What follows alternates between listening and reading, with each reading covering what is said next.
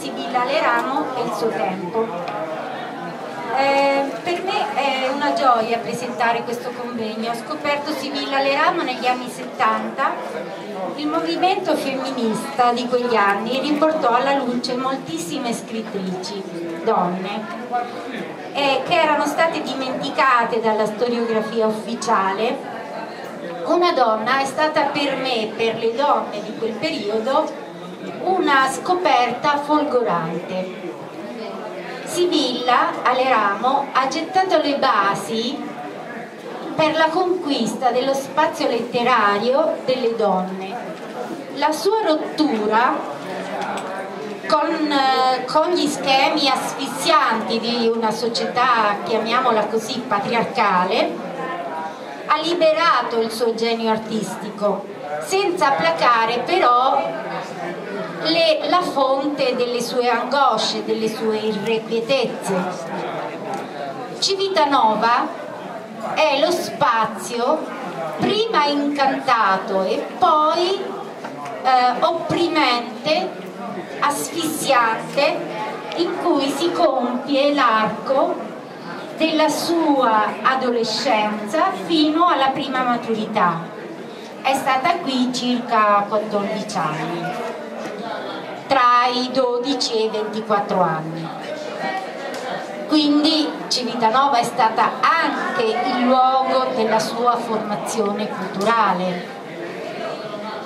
I relatori molto importanti che abbiamo qui oggi, veramente eccezionali, eh, tracceranno un ritratto, il suo ritratto, eh, approfondiranno la relazione artistica e umana con, eh, con il poeta Dino Campana e individueranno il suo posto, il suo ruolo nella scrittura e nelle scritture al femminile tra la fine dell'Ottocento e i primi del Novecento.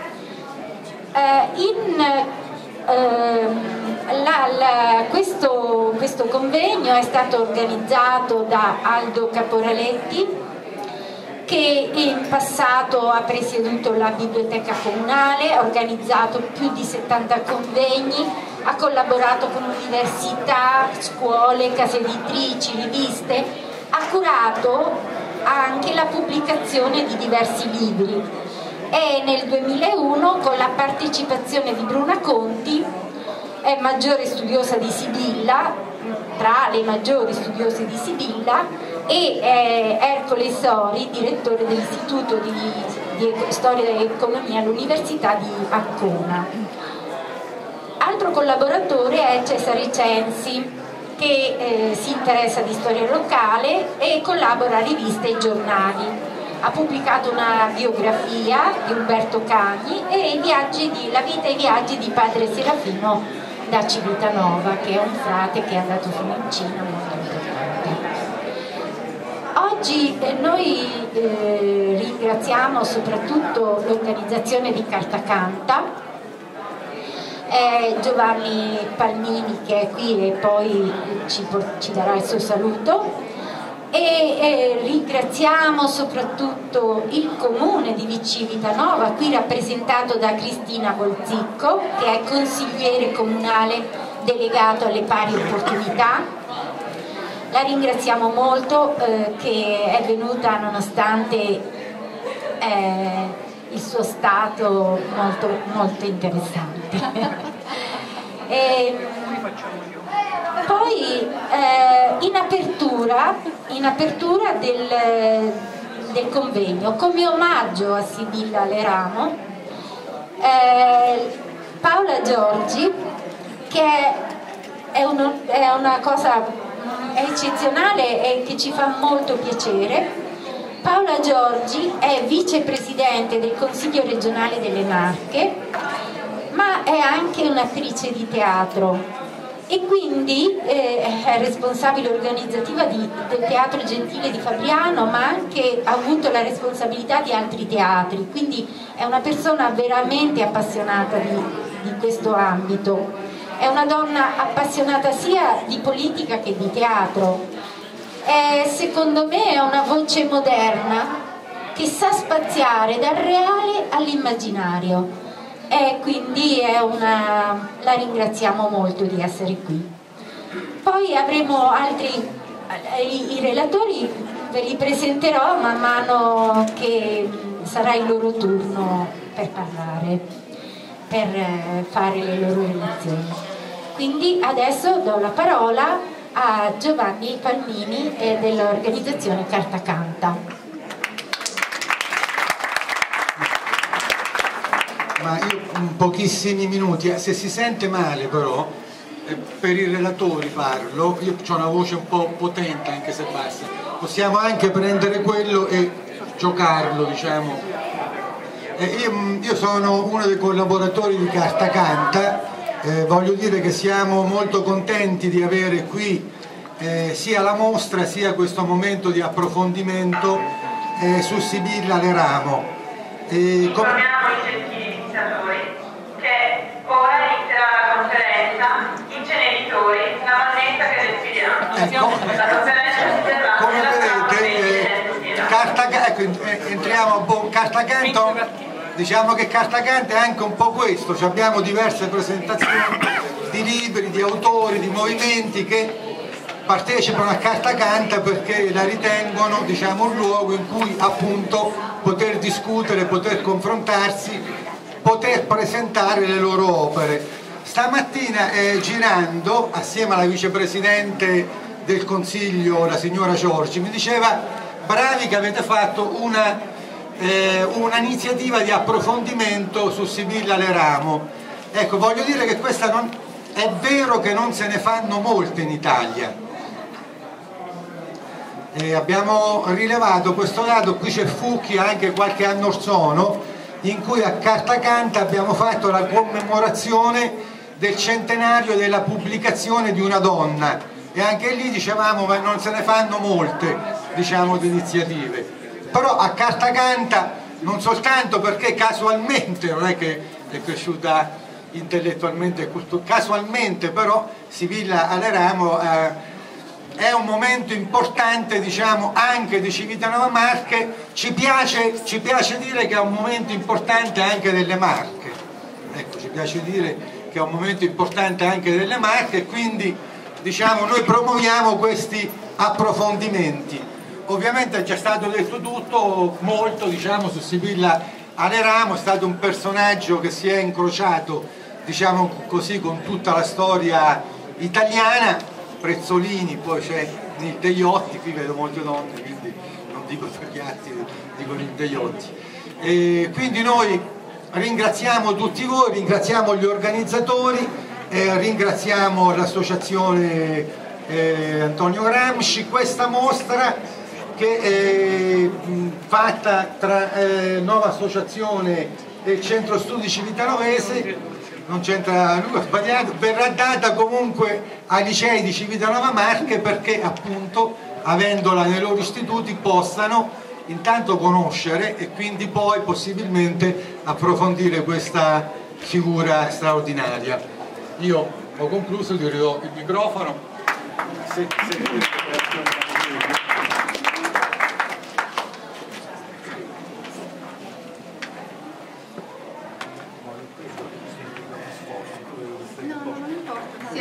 stato interessante, però ce la faccio. Buonasera Siamo a tutti. Normali. È normale, è normale. Poi il secondo figlio non, non ci facciamo più caso. Ci siamo abituati. Eh, buonasera a tutti. Eh.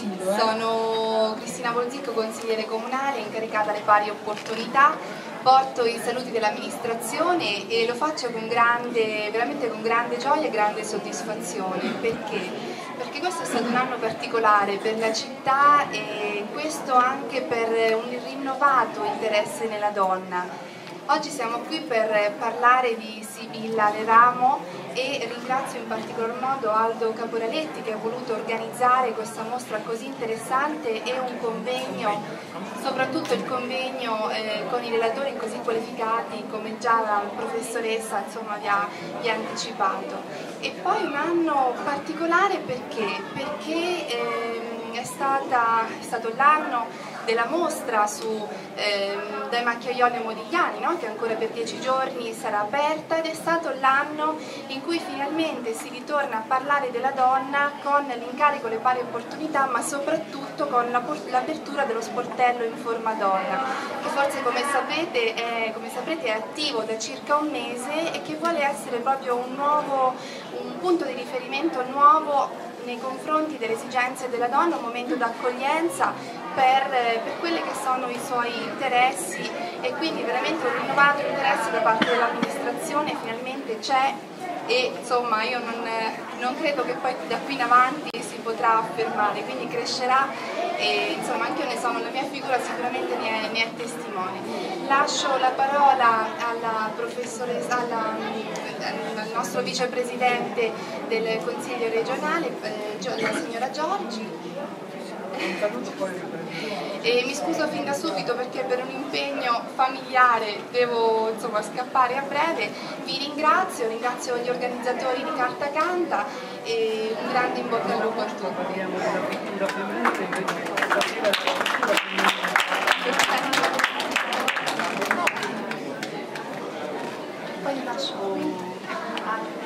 Grazie. Eh, buonasera a tutti, innanzitutto grazie per l'invito e un ringraziamento naturalmente va a Carta Canta e agli organizzatori di, questa, di questo convegno. Un ringraziamento va anche a voi qui presenti. Siamo in uno spazio che penso che all'interno di Carta Canta possa essere definito lo spazio Sibilla Leramo con questa mostra curata da, eh, dalla dottoressa Morino, una mostra curata insieme agli, al Centro Studi Civitanovesi che, che ci racconta anche la storia di Sibilla Leramo. In questo contesto noi stasera partecipiamo a questo importante convegno sulla figura di Sibilla Leramo.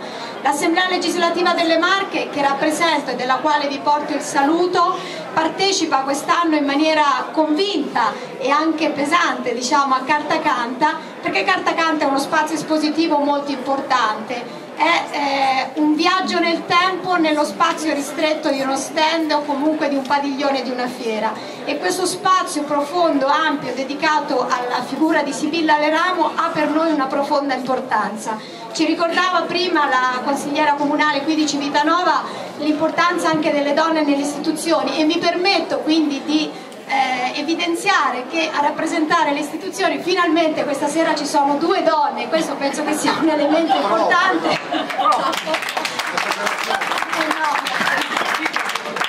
E speriamo significativo. Io eh, ho l'onore di aprire questo, questo convegno recitando una poesia una poesia di Giosuè Carducci, Piemonte, che ha un significato nella vita di Sibilla Leramo che poi credo verrà espli esplicitato durante il convegno. Grazie.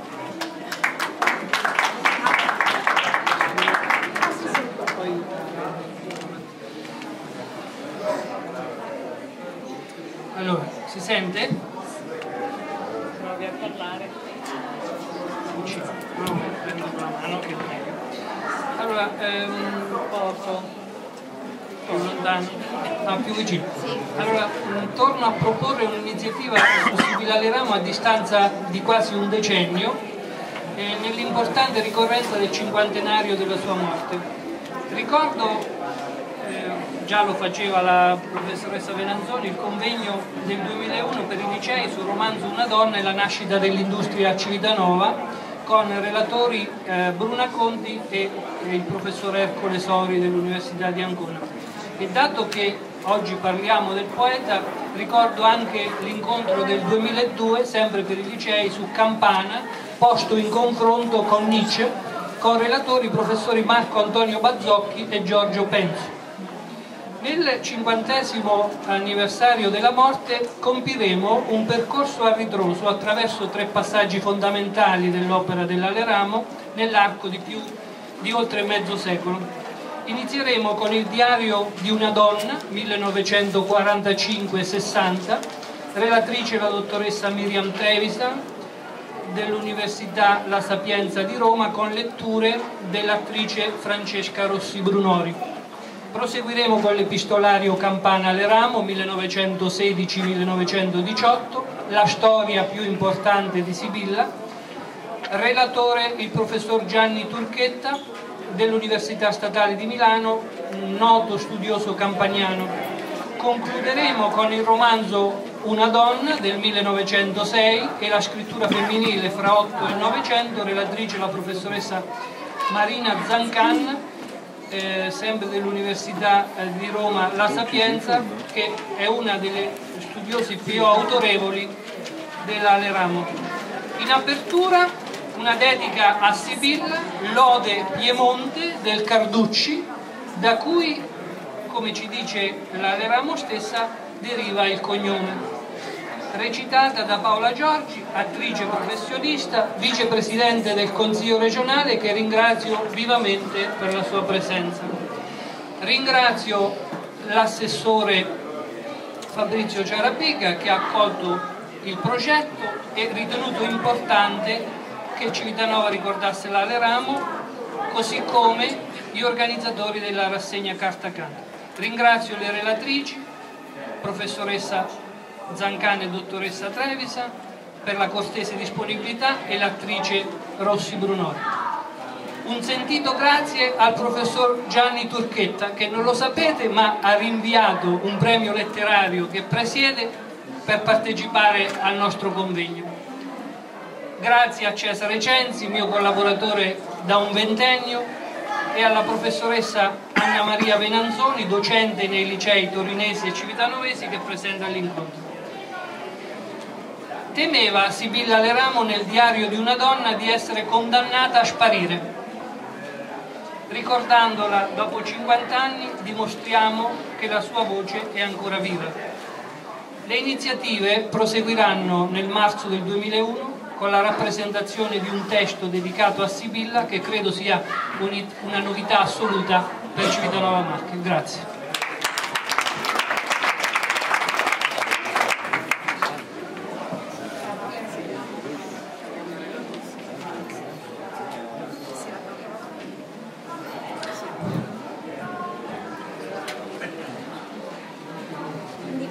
Partiamo con la lettura di Piemonte di Giosuè Carducci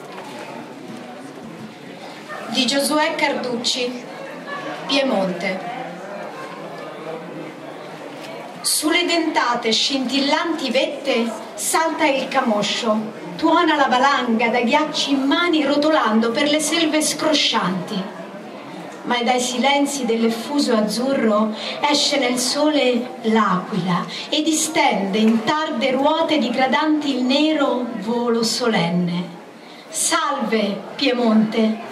a te con melodia mesta da lungi risonante, come gli epici canti del tuo popolo bravo, scendono i fiumi, scendono pieni, rapidi, gagliardi, come i tuoi cento battaglioni e a valle cerca alle deste a ragionar di gloria ville e cittadi la vecchia osta di Cesare e mura ammantellata che nel varco alpino eleva sopra i barbari manieri l'arco di Augusto Ivrea la bella, che le rosse torri specchia sognando alla cerula d'ora nel largo seno, fosca intorno e l'ombra di re Arduino.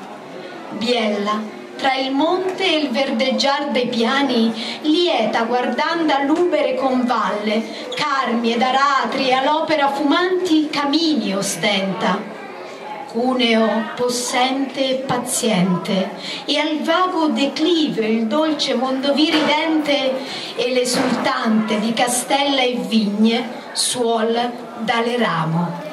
E da Superga nel festante coro delle grandi Alpi la regal Torino incoronata di vittoria ed asti repubblicana fiere di strage gotica e delira di Federico, dal sonante fiume ella, o Piemonte, ti donava il carme novo dal fieri. Venne quel grande, come il grande augello un debbe nome, e all'umile paese sopravolando fulvo, irrequieto, Italia, Italia, egli gridava di sueti orecchi e a pigri cuori, agli animi giacenti, Italia, Italia, rispondé all'urne d'Arqua e Ravenna e sotto il volo scricchiolarono l'ossa se ricercanti lungo il cimitero della fatal penisola a vestirsi d'ira e di ferro. Italia, Italia! E il popolo dei morti surse cantando a chieder la guerra e un re alla morte nel pallor del viso sacro e nel cuore trasse la spada. O anno dei portenti, o primavera della patria, o giorni, ultimi giorni del fiorente maggio, o trionfante suon della prima italica vittoria che mi percosse il cuor fanciullo, Ondio, vate d'Italia, la stagion più bella in grigia chioma, oggi ti canto. O re dei miei verdanni, re per tanti anni bestemmiato e pianto, che via passasti con la spada in pugno e il cilicio al cristian petto, Italo Amleto sotto il ferro e il fuoco del Piemonte, sotto di Cuneo il nervo e l'impeto d'Aosta sparve il nemico, languido il tuon dell'ultimo cannone, dietro la fuga austriaca moria. Il re a cavallo discendeva contra il sol cadente e gli accorrenti cavalieri in mezzo di fumo e polve, di vittorie allegri, trasse ed un foglio dispiegato disse resa peschiera Oh, qua dai petti, memori degli avi, alte ondeggianti le sabaude insegne, surse fremente un solo grido, viva il re d'Italia! Arse di gloria, rossa nel tramonto, l'ampia distesa del lombardo piano, palpitò il lago di Virgilio come velo di sposa che s'apre al bacio del promesso amore. Pallido, dritto sull'arcione immoto, gli occhi fissava il re vedeva l'ombra del Trocadero e lo aspettava la Brumal Novara e a tristi errori meta ultima o porto. O sola e cheta in mezzo dei castagni villa del Douro che in faccia il grande Atlantico sonante ai lati al fiume fresco di camelie e albergone la indifferente calma tanto dolore. Sfacesi e nel crepuscolo dei sensi tra le due vite al re davanti corse una miranda visione. Di Nizza il marinaro biondo che dal gianicolo spronava contro l'oltraggio gallico.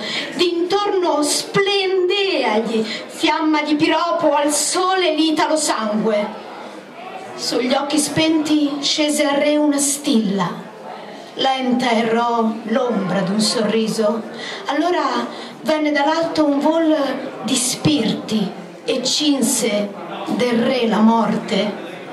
Innanzi a tutti, o nobile Piemonte, quei che a sfatteria dorme in Alessandria die a Laure primo il tricolor, Santorre di Santa Rosa, e tutti insieme a Dio scortarono l'alma di Carlo Alberto. Eccoti il re, Signore, che ne disperse, il Re che ne percosse. Ora, oh Signore, anche egli è morto, come noi morimmo, Dio, per l'Italia. Rendine la patria ai morti, ai vivi, per fumante sangue da tutti i campi, per il dolore che le regge agguaglia le capanne, per la gloria Dio che fu negli anni, per il martirio Dio che ne è l'ora a quella polve eroica fremente, a quella luce angelica esultante, rendi la patria, Dio, rendi l'Italia agli italiani.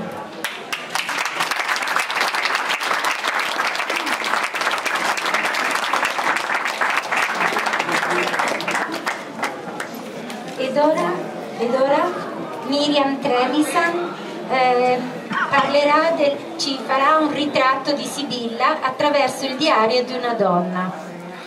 Miriam Trevisan è dottore di ricerca in storia delle scritture femminili, si occupa di informatica applicata agli studi letterari, letterari scusate, di letteratura resistenziale, di scrittura autobiografica, con lavori in particolare incentrati su Sibilla Leramo, Luigi Pirandello, Giovanna Zangrandi.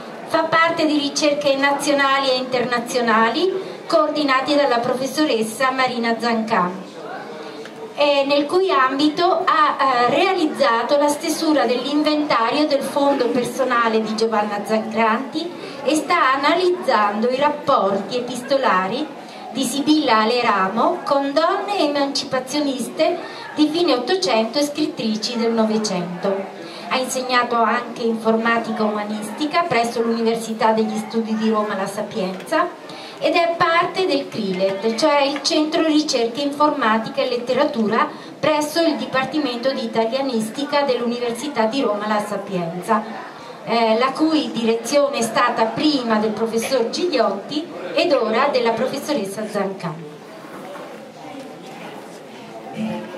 Intervento particolare perché l'attrice la, leggerà dei brani, per cui pensavamo okay. di... Allora sì.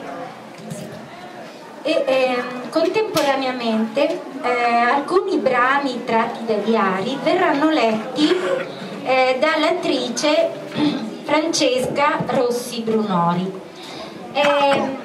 La, eh, ci siamo incontrate prima, le notizie è, ehm, è un'attrice che si occupa di teatro classico, che ha lavorato nei nostri teatri eh, durante questi ultimi due anni, viene da Milano, eh, ma attualmente è una nostra diciamo concittadina.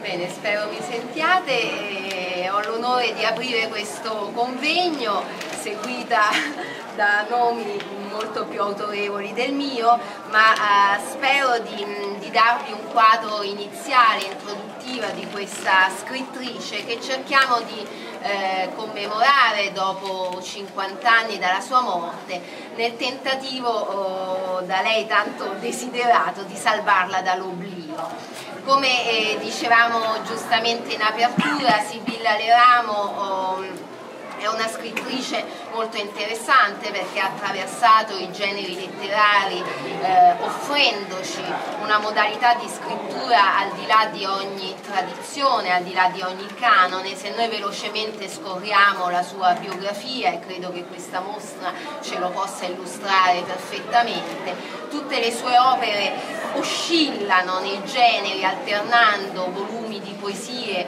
a prose, a raccolte di prose, romanzi, romanzi epistolari, romanzi autobiografici, romanzi eh, in terza persona, poemetti, novella, una novella come trasfigurazione e verso la fine troviamo una serie di pubblicazioni eh, diaristiche.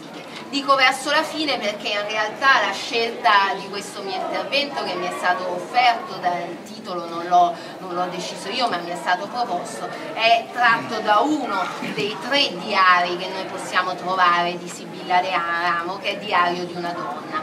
In realtà um, per parlare dei diari di, di Sibilla bisogna fare un un accenno a quella che è la sua scrittura diaristica e la storia editoriale dei suoi diari eh, Sibilla Leramo inizia a scrivere diari eh, nel, nel 40, inizia, negli anni 40 inizia a scrivere, in particolare la prima datazione è 3 novembre 1940, quando viveva a Capri con Matacotta, l'ultimo grande amore della sua vita, ed era in preda ad una crisi esistenziale legata a un sentirsi incapace di proseguire la sua attività creativa, sentiva spenta in sé la vena poetica e questo ovviamente per una donna che si considerava poetessa eh, era uh, un dramma difficilmente superabile. Matacotta le suggerisce di avviare una nuova modalità di scrittura, quella diaristica, nella speranza che attraverso la scrittura del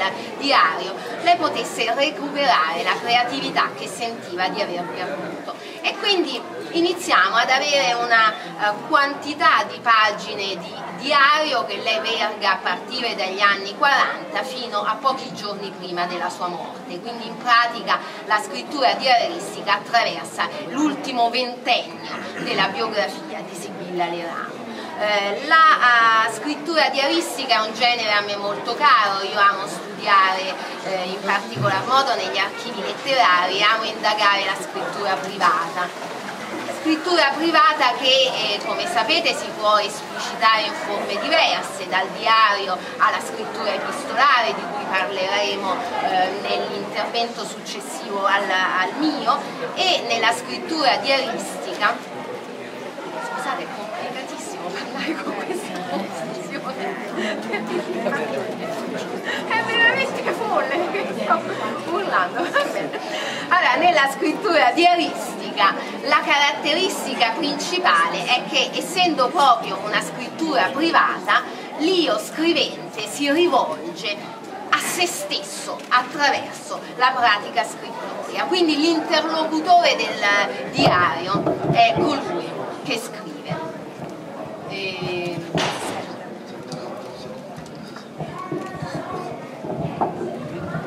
lei poi deve leggere esce. Oh, vabbè. Perfetto, così va meglio forse, si sta urlando una disperata. Va bene. Quindi dicevo la caratteristica del diario, della scrittura diaristica. Adesso rimato, riabbasso il tono. La caratteristica del diario, quindi della scrittura eh, privata, è che teoricamente non è rivolta al pubblico pubblico. Dico teoricamente perché quando noi parliamo di diari, di scrittori o come diremo poi con il professor Turchetta quando si parla di rapporti epistolari tra delle figure eminenti nel panorama letterario o culturale in senso lato, è abbastanza implicito che colui che scrive sa che probabilmente qualcun altro dopo la sua morte sarà interessato alle carte che scrive, quindi non sappiamo mai quanto ci sia di eh, realmente eh, diretto esclusivamente alla sfera privata e quanto invece nella scrittura sia rivolto comunque a un interlocutore altro che probabilmente prima o poi leggerà le carte che vengono vergate giorno dopo giorno. Quindi mh, mm, nel caso di Sibilla Leramo questa peculiarità della scrittura privata di uno scrittore che mh, mm, sconfina nell'ambito pubblico e privato privato è esplicitata dal fatto che lei già uh, in vita inizia a destinare alla pubblicazione i propri diari. Nel diario di una donna, quello di cui vi devo parlare io oggi, Sibilla annota proprio nei, nei primi, nei, nella prima annata, nel 1945, che è uscito una raccolta di alcune delle pagine del diario che lei aveva scritto nel quinquennio precedente, quindi nel periodo 40 44 ad opera dell'editore Tuminelli e eh, questa raccolta dal titolo appunto Dal mio diario, lei ci dice cioè, che circa la metà delle pagine che lei aveva scritto sono state eh, poi destinate alla pubblicazione, esce appunto l'anno dopo, quindi le carte 40-44 verranno pubblicate nel 45 stesso destino di pubblicazione lei stessa decide di eh, offrirlo ai diari che gradualmente continuerà a scrivere negli anni. E noi troviamo annotato nelle pagine diaristiche la storia editoriale delle,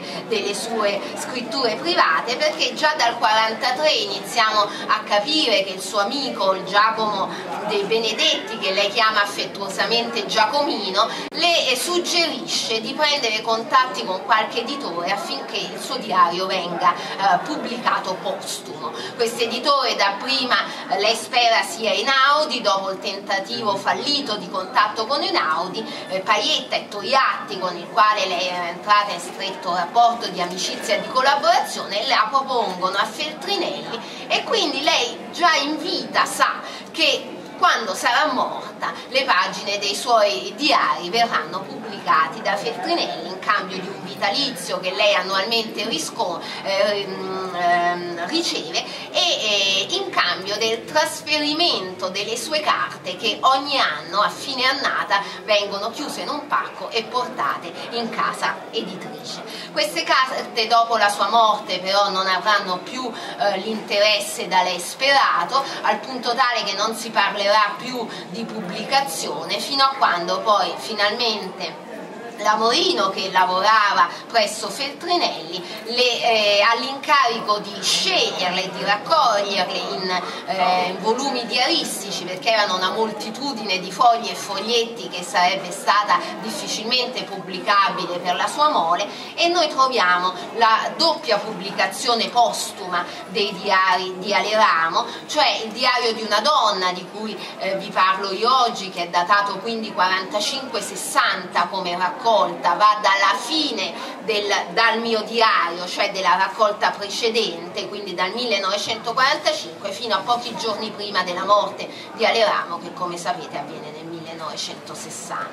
Poi l'anno successivo, questo volume viene pubblicato nel 78, l'anno successivo, quindi nel 79, la Morino raccoglie nuovamente i diari 40-44 non più nella scelta dal mio diario, ma è una raccolta molto più ampia che viene intitolata Un amore insolito.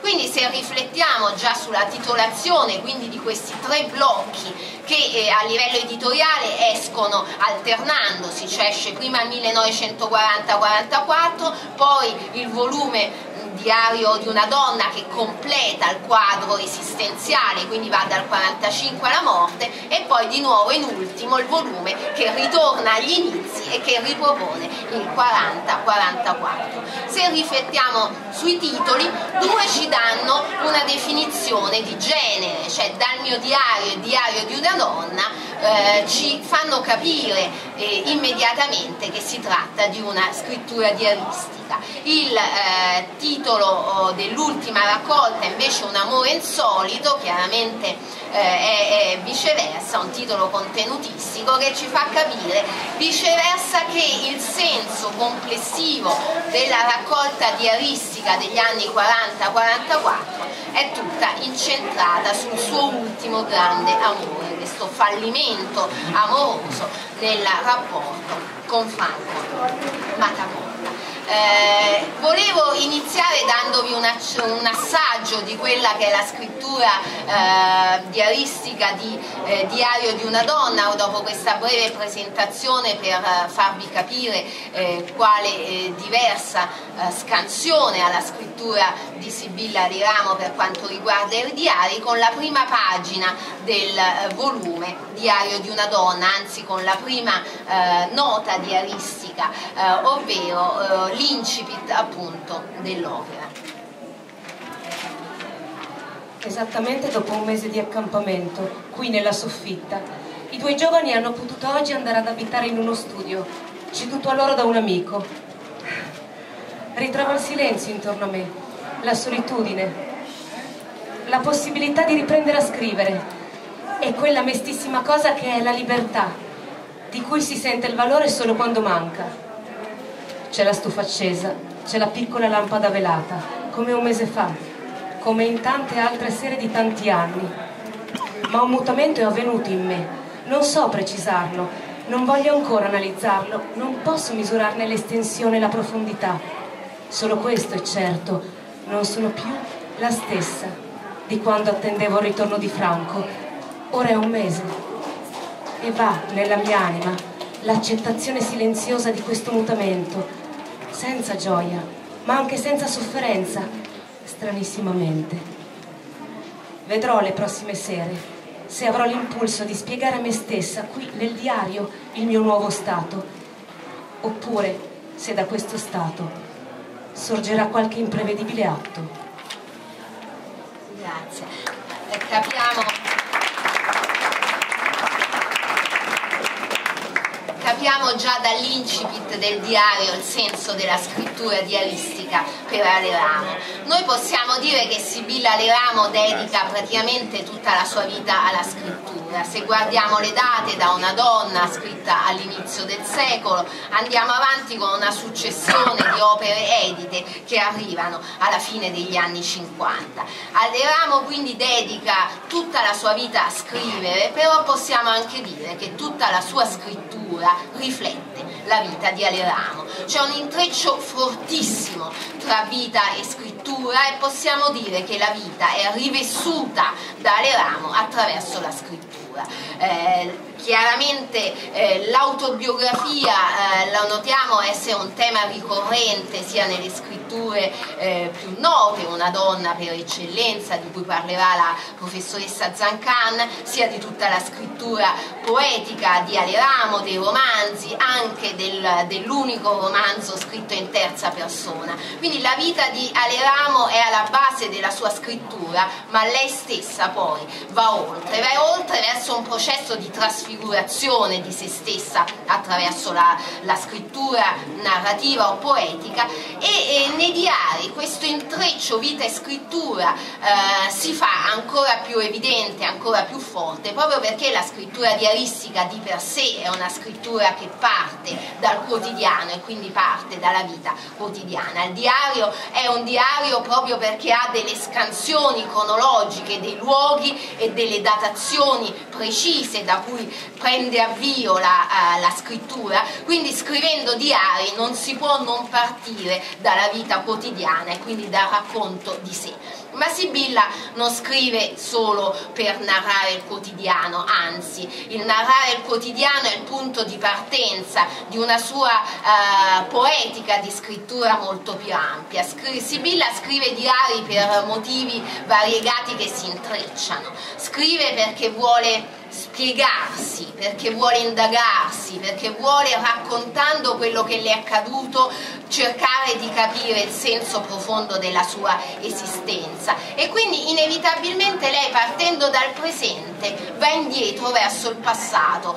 Ogni racconto eh, ci offre inizialmente il, eh, des la descrizione del, dell'avventura quotidiana, di ciò che le è accaduto, di quello che ha letto, di quanto ha fatto, di chi ha incontrato, ma anche delle miserie, delle difficoltà del quotidiano, della carenza di cibo, della mancanza di legna con cui scaldarsi, delle difficoltà pratiche che la attanagliavano in tutti gli anni dal 45 in poi, ma inevitabilmente poi la scrittura si fa altro per andare nel passato e, e recuperare dal passato un senso a quella che è la sua vita di oggi. Quindi è una scrittura circolare che parte dall'oggi per andare indietro e per andare poi verso un senso più universale, un tempo molto più dilatato e molto più eh, ampio. Allora noi capiamo che attraverso la scrittura eh, diaristica eh, Sibilla riflette quella che è la sua ansia di comunicazione,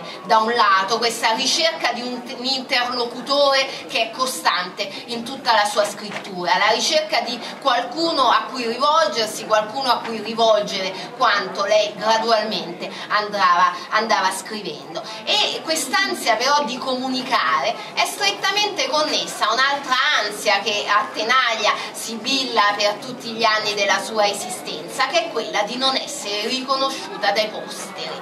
Lei continuamente mantiene a catasta, raccoglie, chiude nei bauli quanto andava scrivendo con il terrore che dopo la sua morte la quantità enorme della scrittura eh, e dei fogli che mh, a mano lei vergava venissero dispersi. Inizialmente lei spera che Matacotta possa, essendo molto più giovane di lei, farsi poi custode della memoria eh, di Sibilla, ma dopo il crollo del sogno di amore che già in questa prima pagina iniziamo ad intuire perché il diario, donna, il diario di una donna inizia proprio quando Matacotta si è allontanato e il rapporto tra i due ormai sta concludendosi, poi dopo subentrerà il suo amore ultimo che è un amore non più per un uomo, ma per l'umanità come lei stessa dice, prendendo la causa del comunismo, aderendo al partito Comunista e legandosi di un'amicizia e di una collaborazione molto intensa con Togliatti che poi sarà il suo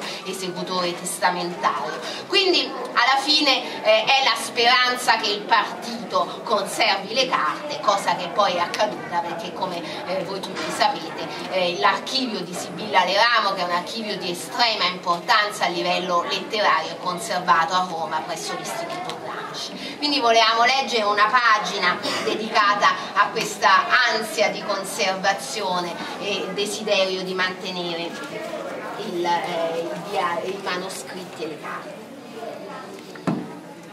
Passato l'intero giorno, fino ad ora, a sfogliare ancora una volta i pacchi di vecchi manoscritti dal 1901 agli anni ultimi, in seguito ad una richiesta di qualche pagina inedita per un nuovo giornale letterario. Non ho trovato nulla di utilizzabile allo scopo. Viceversa, ancora una volta, e forse più chiaramente che mai, ho sentito la somma enorme di vita che è espressa in quelle migliaia e migliaia di foglietti, espressa caoticamente, alla rinfusa, spesso in maniera quasi indecifrabile, ma costituente una testimonianza, quale forse nessuna donna ha mai lasciato tanto ampia di sé e con tanta fedeltà alla propria anima assetata. Ho sentito che, dopo la mia morte, questa eredità di parole assumerà un valore profondo, se troverà chi avrà dedizione e forza sufficiente a ordinarla e pubblicarla. Sarà Franco? Oh, io lo prego qui, stasera, che se egli non dovesse sentirsi in grado di compiere la missione che gli ho affidata, se l'opera sua personale non gli consentisse di dedicarvisi, lo prego di cercare chi possa sostituirlo. Lo prego di far sì che non si disperda, insieme alle mie ceneri, la sostanza spirituale adunata in tutte quelle pagine. Lo prego come in un punto di morte. Ed egli mi ascolterà, non mi tradirà. Vero? Franco?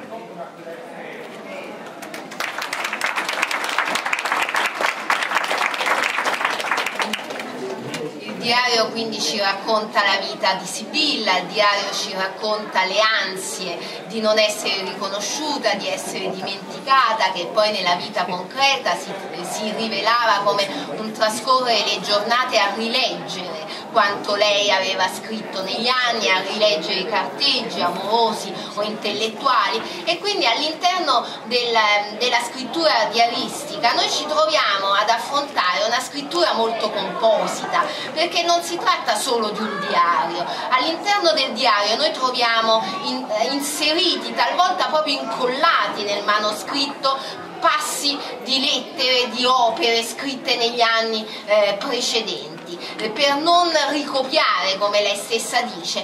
Il diario diventa quasi per usare un termine più recente un collage dove altri frammenti narrativi o epistolari si inseriscono all'interno di un tessuto diaristico. Un esempio tra i tanti che abbiamo scelto eh, per leggervelo insieme è quello in cui lei rac racconta rielaborando una sua storia ripensando una sua storia d'amore conclusatisi tanti anni prima, eh, scrive un frammento di una parte di poesia che è stata pubblicata in raccolta e poi scriverà dopo una conclusione che non sa perché ma poi non ha mai pubblicato. Quindi troviamo un, un incastro di un'opera edita, di un'opera poetica edita con un inserimento viceversa inedito.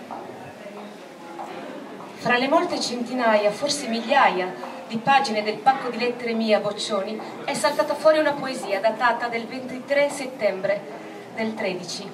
Ancora oggi. Sono andata a ricercarla in momenti, la prima raccolta dei miei versi. C'è, ma solo la prima parte, solo i primi brevi, 18. Ancora oggi, tra la folla, nel sole, repentinamente, ho desiderato morire, senza lacrime, su me stessa ho pianto, come su una morta, nel sole, nella città turbinosa, oggi come ieri, ho camminato, negando d'essere viva, morta. Ero tuttavia solo una cosa umana, sopra l'onde informi vaghe. Andavo. Non so perché non stampai il seguito, che ora ricopio qui. Incontra quel solo che pensavo ancora vivo, sotto il cielo, al solo, che potesse vedermi e fermarmi e riconoscendomi morta, dirmi che ho vissuto e non l'ho trovato, come se anch'egli si ritenesse in quell'ora morto, un triste compito. Oggi, come forse ieri, è verso me vaneggiata, unica rimasta nel sole. E domani?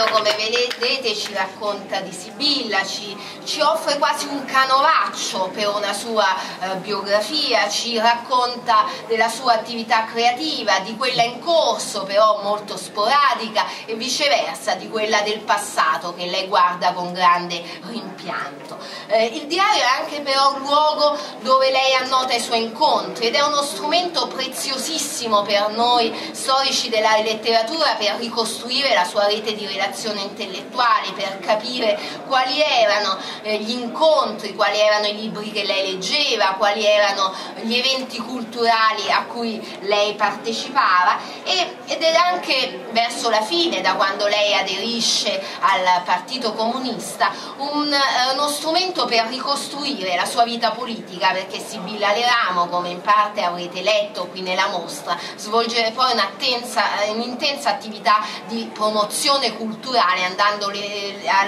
a, leggere le sue poesie per il partito in sedi diverse d'Italia. E lì lei continuerà la sua vita di erabunda come lei stessa si definisce prima eh, nella prima parte degli anni giovanili per motivi talvolta amorosi o per motivi e vicissitudini diverse, poi negli ultimi anni viaggerà molto perché eh, richiesta per conferenze e per letture non solo in Italia ma anche all'estero perché compierà dei viaggi, viaggi, molto importanti per poi scrivere delle, dei reportage degli articoli le riviste, per le riviste presso le quali lei collaborava. E eh, mi è sembrato opportuno scegliere un frammento oh, di diario di viaggio in cui attraversando ricordando proprio questi luoghi a lei eh, legati alla memoria antica, agli anni appunto in cui il padre era stato trasferito qui a Civitanova e legati anche nel suo immaginario all'evento più drammatico della sua esistenza, lei ritornerà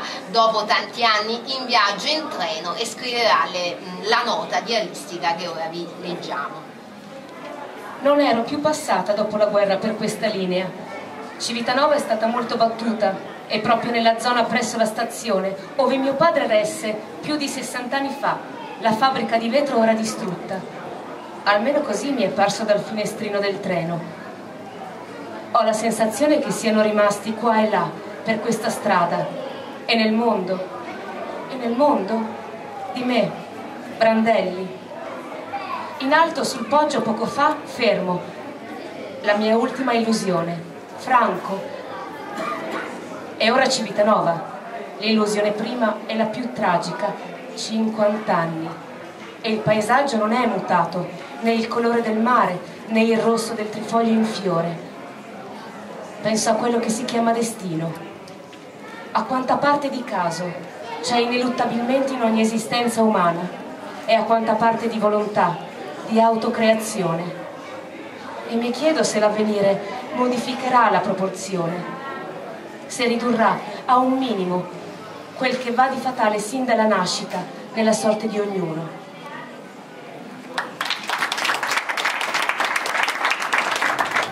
Vedete in questa pagina capiamo subito uh, in maniera esplicita come Sibilla parta da un dato quotidiano da un avvenimento del presente, in questo caso il passaggio lungo la linea ferroviaria che attraversava dei posti a lei cari e, a lei connessi a una memoria lontana, per poi andare indietro con il ricordo e attraverso la memoria far riaffiorare un uh, frammento di vita del passato. Quindi una scrittura che come vi dicevo prima è una scrittura che svela all'interlocutore l'essenza intima della poesia, della poetica, del senso più profondo della scrittura complessiva di Sibilla Leramo. E infatti Sibilla continuerà a scrivere fino a pochissimi giorni prima della morte, cercando attraverso il diario di mantenersi in vita come scrittrice. Volevo chiudere infatti questo intervento con l'ultima lettura eh, dell'ultima nota di diario di una, di una donna, ultima nota che risale al 2 gennaio del 1960 e pochi giorni dopo Sibilla eh, morirà presso la clinica dove era stata ricoverata grazie anche all'intervento di Togliatti del Partito Comunista. Grazie. Nell'ultimo dell'anno né ieri trovai la forza di annotare una parola. C'era un magnifico mazzo di rose mandatomi da Togliatti, con un suo caro biglietto a mano. Ora però si è appassito. Non riesco a ricordare chi ieri venne a visitarmi. Solo l'ultima, che era già notte. Carlo Bernari e sua moglie. Abitano vicino e hanno l'auto. Alle 21 ho chiuso la televisione e subito addormentata sino alle 8 di stamane. Tempo chiaro, ma fatico a tenere gli occhi aperti.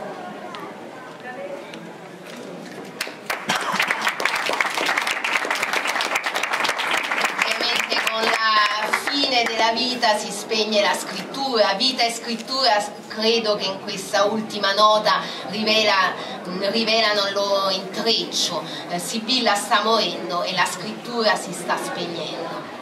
Grazie.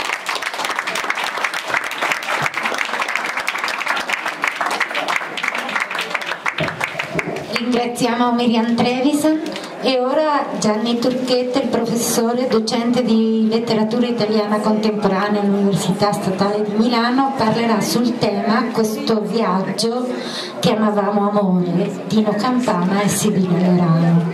Il professor Gianni Turchetta per alcuni anni si è occupato prevalentemente del periodo fine 800 primi 900 con studi, monografie su Campana, D'Annunzio, Pirandello. In seguito si è occupato del secondo Novecento con saggi su Consolo, Sciascia, Cassola, Moravia, Tadini, Testori, Mastronardi.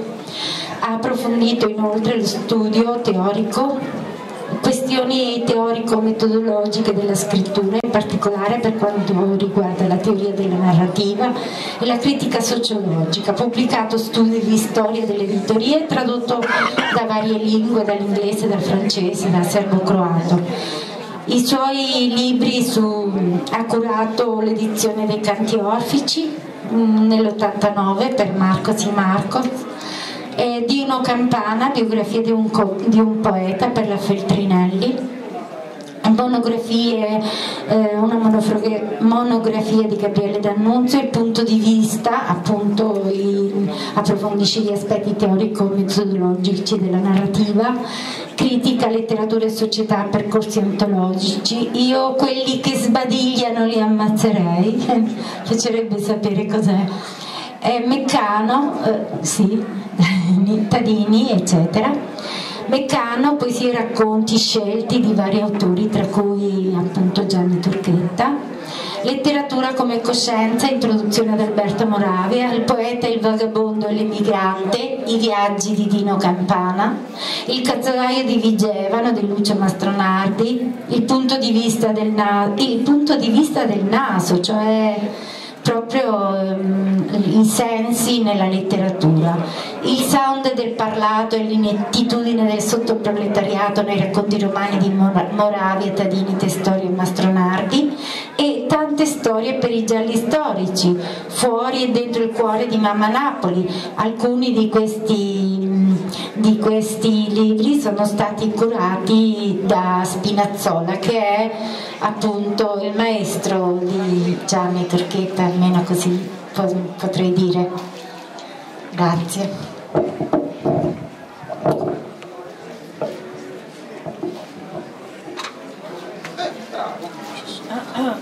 Bello della diretta, ho subito rovesciato un bicchiere d'acqua. Eh sì, ma questo fa parte del, del, del, cabaret, diciamo così. Io ringrazio gli amici di Civitanova Terme, Civitanova, Marche, sì, è questo. Il bello della diretta è questo, per avermi invitato, cioè all'inizio un disastro, tutta questa bella presentazione con tutti gli infiniti titoli e vabbè l'acqua che ho versato. Riprendo subito l'argomento, magari sottolineando che sarò l'unico maschio a parlare di Sibilla Aleramo no? in, questo, in, questo, momento. E naturalmente parlerò appunto di Sibilla Aleramo e di Campana. Continuo a fare pasticci con il microfono adesso la finisco. Um, il compito che ho adesso secondo me è al tempo stesso molto delicato e molto facile. È molto facile perché parlare del carteggio Campana Aleramo significa parlare di un libro veramente che, che, che, colpisce. Io non so quante volte l'ho letto da, da, da studioso la prima volta insomma non credevo ancora, non lo sapevo di essere uno studioso, lo leggevo perché mi piaceva Campana ed è ogni volta una botta al cuore, allo stomaco. E detto così può sembrare così, un po' irrazionalistico, un po' banalizzante, però vi assicuro che tutto tranne che irrazionalistico è il mio atteggiamento. Eh, delicato però perché, e qui entriamo subito nell'argomento, questo carteggio così bello, così affascinante, in realtà è oggetto di, ma non so neanche se di discussione, ho l'impressione che non sia stato neanche affrontato criticamente in maniera adeguata. Fatto sta che, per andare al nodo della questione, questo carteggio è la storia dell'unico grande amore di Dino Campana, tornerò su alcuni aspetti controversi. E c'è un dettaglio che non è un dettaglio, eh, questo unico grande amore di Dino Campana è in sostanza eh, l'atto finale della sua esistenza.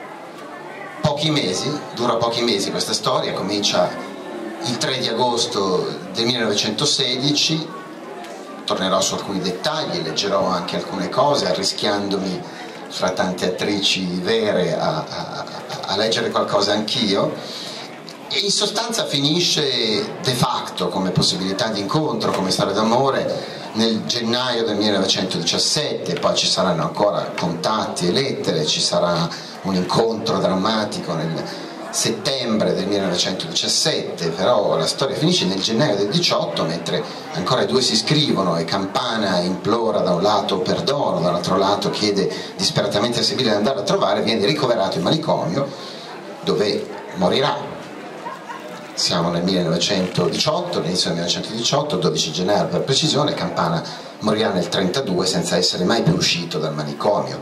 E non ho qui modo di affrontare diciamo, la questione poesia-follia, la figura di Campana, certo che Campana è appunto un autore importante della nostra storia letteraria che certamente ci impone un confronto spregiudicato secondo me non con quello che ha dentro lui, che aveva dentro lui, con quello che abbiamo dentro noi.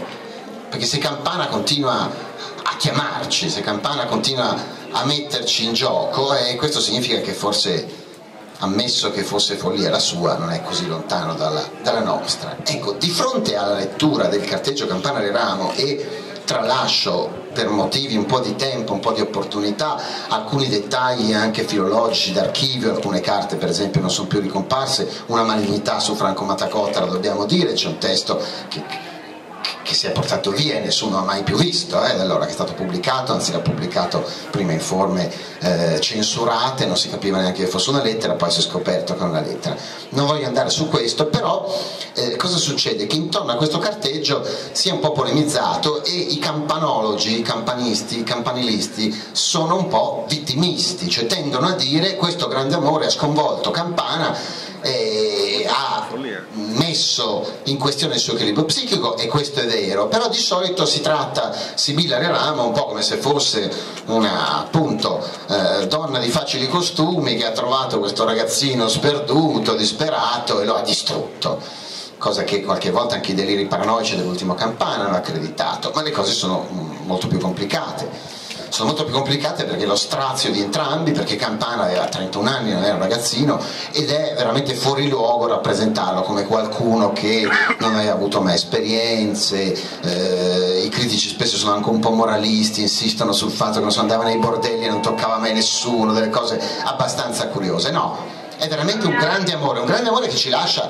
di, di sasso perché eh, mi viene da dire, è eh, l'archetipo quasi del grande amore. Siamo alle prese con una storia che sembra avere tutti i connotati della vicenda maledetta, tragica, no? i due vagabondi, i due esardicati, non mm, riraccontano le storie del ramo, lo sapete tutti che cosa è successo, Campana, una vita appunto di eh, sconquassi, eh, entrambi eh, cominciavano a essere conosciuti, cioè Sibilla era già da dieci anni conosciuta per una donna, Campana cominciava ad avere una sua piccola fama che non era più soltanto tra gli addetti ai lavori, anche se questo diciamo, gli procurava pochi vantaggi dal punto di vista materiale.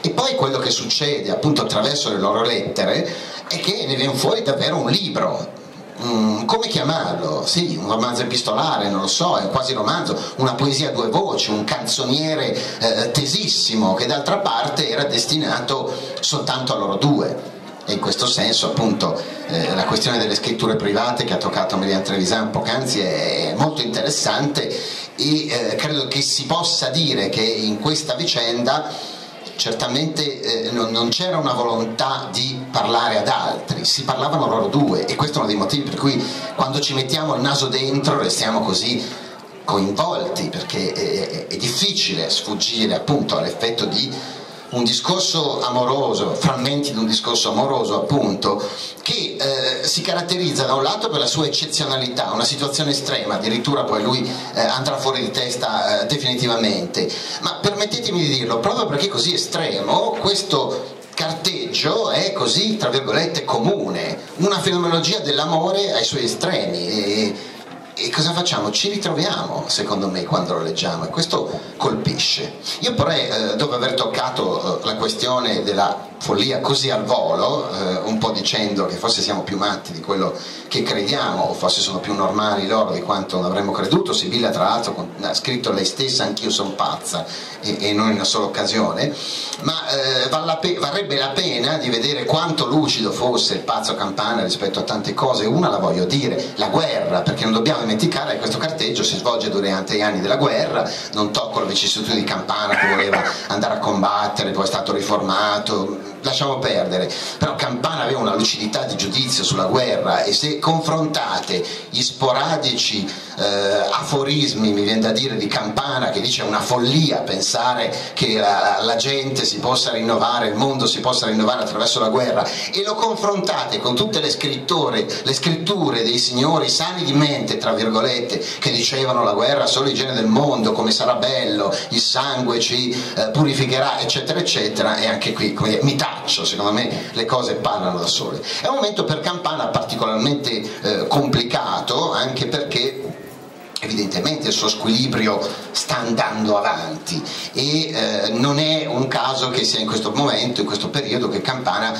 per esempio reclama violentemente la restituzione del famoso manoscritto dei canti orfeci perduto, anche qui è un'altra storia da raccontare, il più lungo giorno, Campana aveva scritto il suo unico libro poi e l'aveva dato a Papini e poi a Soffici e questo manoscritto fu perduto, mi viene da dire non c'erano le fotocopie e questo non deve aver proprio contribuito alla eh, tranquillità psichica del povero Campana. Fatto sta che quando comincia la storia eh, d'amore con Sibilla, o meglio quando comincia il loro contatto, eh, Campana ha, eh, dà l'impressione di essere una persona un po' sul chi va là e anche le risposte che dà a Sibilla sono da un lato molto guardinghe, da un altro lato eh, già percorse da profezie su quello che gli sta succedendo. A un certo punto, per esempio, le scrive, siamo proprio ai primissimi contatti, finita la guerra non esisterò più, ammesso che esista ancora. Sta anticipando no? questa sorta di fatale destino che ormai lo attende di sparire. E di nuovo molte cose ci sarebbero da dire. Certo è che in questa situazione Campana per la prima volta nella sua vita ha un investimento emotivo molto grande un investimento emotivo molto grande in cui si gioca tutta la sua ambivalenza emotiva e anche qui vorrei essere più analitico, non, non posso farlo. Cioè Campana vive nei confronti di Sibilla da un lato un un amore travolgente, da un altro lato rimette in gioco tutte le sue ostilità, i suoi odi verso la figura materna, verso la figura femminile, più o meno odi giustificati talvolta anche culturalmente. Questa ambivalenza eh, finirà di schiantarlo, certo, questo è vero. Le sequenze di Campana che sta per essere ricoverato sono impressionanti, dice per esempio che la causa della guerra europea e mondiale sono le donne, poi passa a dire che la colpa della guerra mondiale è di Sibilla Reramo, Ramo poi passa a dire la causa della guerra in realtà non è Sibilla Ramo, è il mio amore con Sibilla e poi arriva a dire no, ma il colpevole della guerra sono io. E questo però, se seguite i passaggi delle, delle equivalenze folli, ecco, eh, ci dice qualcosa. Però di nuovo mm, mm, mm eh, non si può eh, banalizzare, ridurre alla questione della follia, perché appunto i due si incontrano e loro è un, un riconoscersi fra persone bisognose di tante cose, forse eh, perdonatemi questo psicologismo, anche da parte di Sibilla un po' di volontà materna, l'aveva a 40 anni, l'ha spesso avuta mi pare nei confronti dei suoi uomini questo atteggiamento e da parte di Dino Campana invece un, un lasciarsi riconoscere un po' figlio e non soltanto perché era più giovane. Fatto sta che il loro incontro appunto un incontro tutt'altro che fra un timidino e una donna, eh, una dark lady assassina, è un incontro appunto fra due pari, mi viene da dire, in cui certamente esplode subito una, un amore travolgente. Io qui non so quanto avrò tempo di leggere, ma qualcosa eh, vorrei proprio leggerlo, un pezzo di una delle prime lettere di eh, Sibilla a Dino Campana. Perché non ho baciato le tue ginocchia? Avrei voluto fermare quell'automobile giù per la costa, tornare al barco a piedi nella notte, che c'è il tuo petto per questa bambina stanca. Tornare come una bambina, questa del ritratto a dieci anni, non quella che ti ha portato tanto peso di storie di memorie affannose, che ti ha parlato come se stesse ancora continuando il suo povero viaggio disperato, come se non ti vedesse quasi, non vedesse lo spazio intorno, le querce, l'acqua, il regno mitico del vento e dell'anima. Tu che tacevi, o soltanto dicevi la tua gioia, Sentivi che la visione di grandezza e di forza sarebbe creata in me non appena io fossi partita nella tua, nella tua luce d'oro e non ho baciato le tue ginocchia, salta un pezzo. È vero che vuoi che io ritorni come una bambina di dieci anni, è vero che mi aspetti. Rivedo la luce d'oro che ti ride sul volto, tacere insieme, tanto, stesi al sole d'autunno. Ho paura di morire prima. Dino, Dino, ti amo, ho visto i miei occhi stamane. C'è tutto il cupo bagliore del miracolo. Non so, ho paura. È vero che tu mi hai detto amore, non hai bisogno di me, eppure la gioia è così forte. E sono molti i passaggi in cui appunto i due eh, in maniera diversa esprimono eh, un altro tipo di ambivalenza emotiva, non certo quella dell'aggressività, l'ambivalenza fra paura della perdita e eh, estasi, una gioia eh, travolgente. E in questa gioia travolgente non dobbiamo dimenticare che lo sconclusionato, sconquassato vagabondo Dino Campana persino arriva a progettare una vita più tranquilla è l'unico momento della sua vita in cui immagina di poter diventare, diciamo così, una persona con la testa a posto. C'è un racconto ancora di Sibilla di un periodo in cui passano un mese insieme in una casetta di montagna, perché molti dei loro incontri sono avvenuti in questi luoghi, diciamo così, un po' di vacanza, soprattutto in montagna, e eh, Sibilla ricorda che Campana fu pur in mezzo a mille stravaganze molto tranquillo, innamorato come un bimbo. Diceva di non essere più capace di scrivere, ma non pareva soffrirne eravamo felici. Campana però lancia dei segnali, eh, di nuovo in lui c'era una grande consapevolezza e eh, come dire una consapevolezza di essere Dr. Jekyll e Mr. Hyde, di essere pronto a cambiare molto e soprattutto a capovolgere la sua dolcezza un po' infantile in una uh, violenza scatenata. Lo sa e avverte in tanti modi Sibilla, in tante lettere. E, e, e, gli esempi sarebbero veramente eh, tanti, passaggio in cui dice come sapete la testa vuota, piena del vento iemale che empie questa valle d'inferno, l'inferno mi diverte, o ancora un altro momento, mi accorgo di sragionare, mi avvicino al mio fatale paese. Qual è uno dei passaggi decisivi? Certamente il passaggio in cui dagli incontri, diciamo, dei luoghi di vacanza e montagne, i due si avvicinano all'ambiente fiorentino. L'ambiente fiorentino scatena in Dino Campana eh, non soltanto la gelosia nei confronti di Sibilla e dei suoi amori passati, ma certamente anche quel groviglio di risentimenti che aveva nei confronti della società letteraria fiorentina, perché aveva perso il manoscritto, ma non solo. Di nuovo bisognerebbe andare oh, più articolatamente a guardare nelle dinamiche psicologiche di Campana, certo poco riconosciuto, certo trascurato e quindi l'incontro fra una Sibilla che comunque sentiva come più inserita e queste possibili storie lo rende eh, furioso di gelosia. E qui i, i, guai cominciano a essere grossi, eh, in particolare con ogni probabilità il momento di, di, di crack della, della vicenda, un momento che è stato anche rappresentato non in un film soltanto, quello di Michele Placido, ma in due, c'era anche, anche quello di Faccini 85, però diciamo così, ecco, sui film tralascerei mm, perché non rendono ecco, abbastanza, ma non voglio affrontare anche questo discorso. Fatto sta che eh, certo Campana um, comincia a essere violento.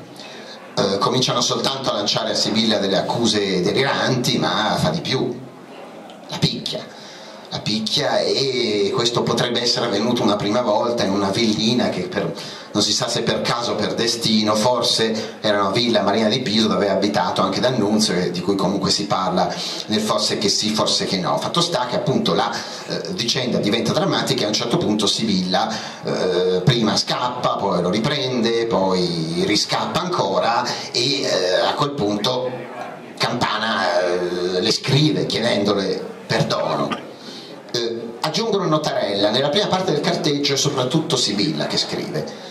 Nella sua appunto eh, vocazione di scrittura è, è, quasi un po' travolgente nei confronti di Campana che è più ritroso. Nella fase più calda anche Campana scrive moltissimo e spesso scrive chiedendo perdono. Per esempio, così. Rina adorata, perdonami, perdonami o abbandonami, così è troppo, cara, cara, non so, ti scrivo, ti aspetto e so che non verrai, questa sera parto, andrò a Firenze, perché hai voluto staccarmi da te? Dimmelo, sarò felice ugualmente, mi aiuterai a staccarmi da tutto, a liberarmi, sei buona, ti ho amato, ti adoro, non puoi abbandonarmi così. Ecco dunque, Rina, Rina, Sibilla, le ramo, Rina che amo, Sibilla mia, si ridi, cara, ridi così io sarò felice e potrò morire Rina quanto sei cara, forse verrai. E vorrei ancora vedermi, ecco quanto ti posso dire ancora. Se questa sera non sei venuta sola, gioia mia, quanto ti amo, non so più, ho bisogno di te, verrò a Pontedera e tu mi dirai poi, mia cara, Rinetta, Rinetta, aspetta, il tuo amore che soffre, addio. No, non vengo, devi guarire ed essere bella. Vado a Firenze tu mi scriverai fermo posta, addio dunque vedete le alternanze di Campana, ma certamente la consapevolezza di questa violenza che c'è in lui. D'altra parte, di nuovo tornano insieme, eh, sono vicende che si svolgono nell'arco di pochi mesi, ma con, con eccezionale intensità e. Ehm, e probabilmente in questo periodo peraltro Campana scrive alcuni dei suoi versi più belli dedicati a Sibilla, quelli che cominciano i piloni fanno il fiume più bello, ma eh, avanzo un po' nella storia. Campana chiede perdono, la vede, si picchiano e nel frattempo eh, ha anche un'ambivalenza eh, intensissima eh, in quello che dice di Sibilla con gli amici, uno scambio fra gli altri, a un certo punto manda una cartolina a Giovanni Boine dicendo che Sibilla è una troia, scusate il termine, è testuale, e non l'ha neanche mandata, cioè appena partita, gliene scrive un'altra dicendo scusa scusa mi sono sbagliato e ehm, in questo periodo eh, volendo essere, andare un po' più a vedere nelle diciamo così, diramazioni di questa storia Sibilla da un lato si tira da parte molti amici le consigliano di non scrivere più a campana eh, da un'altra parte lei si mostra ancora fiduciosa di poterlo cambiare. Lasciatemi dire un atteggiamento un po' femminile quello io lo cambierò, io lo salverò lui sarà un altro e agli amici che l'invitano a, a tirarsi da parte eh, lei un po' si tira da parte e un po' però tempesta ancora Dino di, eh, di lettere.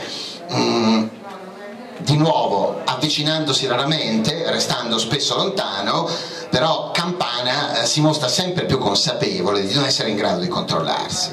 C'è una lettera famosa che vorrei leggere più partitamente, leggo soltanto un passaggio eh, noto, mia cara amica, sono troppo stanco e troppo malato per cercare di comprendere.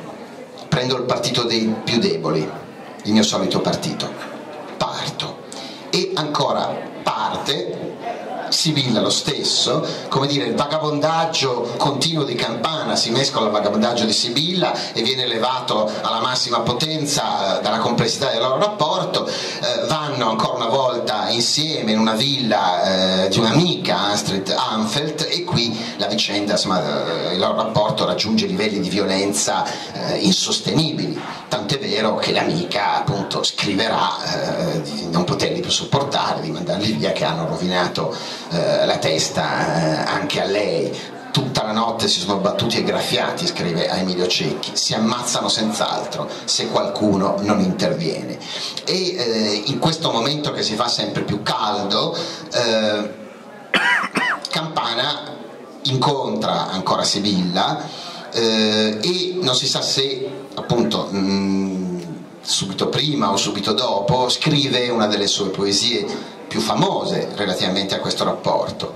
Siamo fra la fine del 1916, l'inizio del 1917, sono passati solo pochi mesi da quel 3 di agosto, eppure in sostanza è l'ultima volta che i due si incontrano da amanti e Campana scrive questi versi celebri anche per la ambigua ironia che si mescola alla, al pathos amoroso.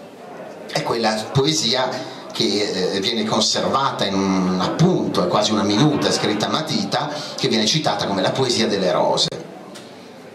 In un momento sono sfiorite le rose, i petali caduti, perché io non potevo dimenticare le rose, le cercavamo insieme, abbiamo trovato delle rose, erano le sue rose, erano le mie rose, questo viaggio chiamavamo amore, col nostro sangue e con le nostre lacrime facevamo le rose, che brillavano un momento al sole del mattino, le abbiamo sfiorite sotto il sole tra i rovi, le, rove, le rose che non erano le nostre rose, le mie rose, le sue rose. Post scriptum, e così dimenticammo le rose. La storia sta ormai precipitando e eh, Sibilla però, mostrandosi tutt'altro che disattenta alla salute eh, fisica e mentale di eh, Dino fa tutto il possibile perché lui possa curarsi, di nuovo una vicenda che era poco conosciuta, ora abbiamo dei dati piuttosto precisi, gli procura una visita con un famoso psichiatra che era il professor Tanzi, visita che avverrà il 22 gennaio del 1917, però ormai è, è, è l'ultimo incontro fra i due, incontro in forma eh, di amanti, Sibilla scappa davvero, Campana va a vivere eh, in montagna, gli dicono che così si può calmare, nel, però nelle Alpi piemontesi, eh, e Sibilla ancora gli scrive in qualche modo eh, alludendo a una possibilità perduta, due righe soltanto, Dino, io e te ci siamo amati come non era possibile amarsi di più, come nessuno potrà mai amare di più. Dino, e il dolore non importa, e non importa la morte. Campana alterna ancora scritture violente a scritture amorose, implora più volte perdono, Sibilla si imbestialisce e eh, in particolare c'è una sua reazione violenta nel momento in cui Campana dice che lui a perdonare lei, e lei insomma reagisce con violenza, però eh, è sempre molto amorosa e capisce che ormai non è possibile stare dietro allo squilibrio di Campana che eh, comincia a inseguirla in qualche modo.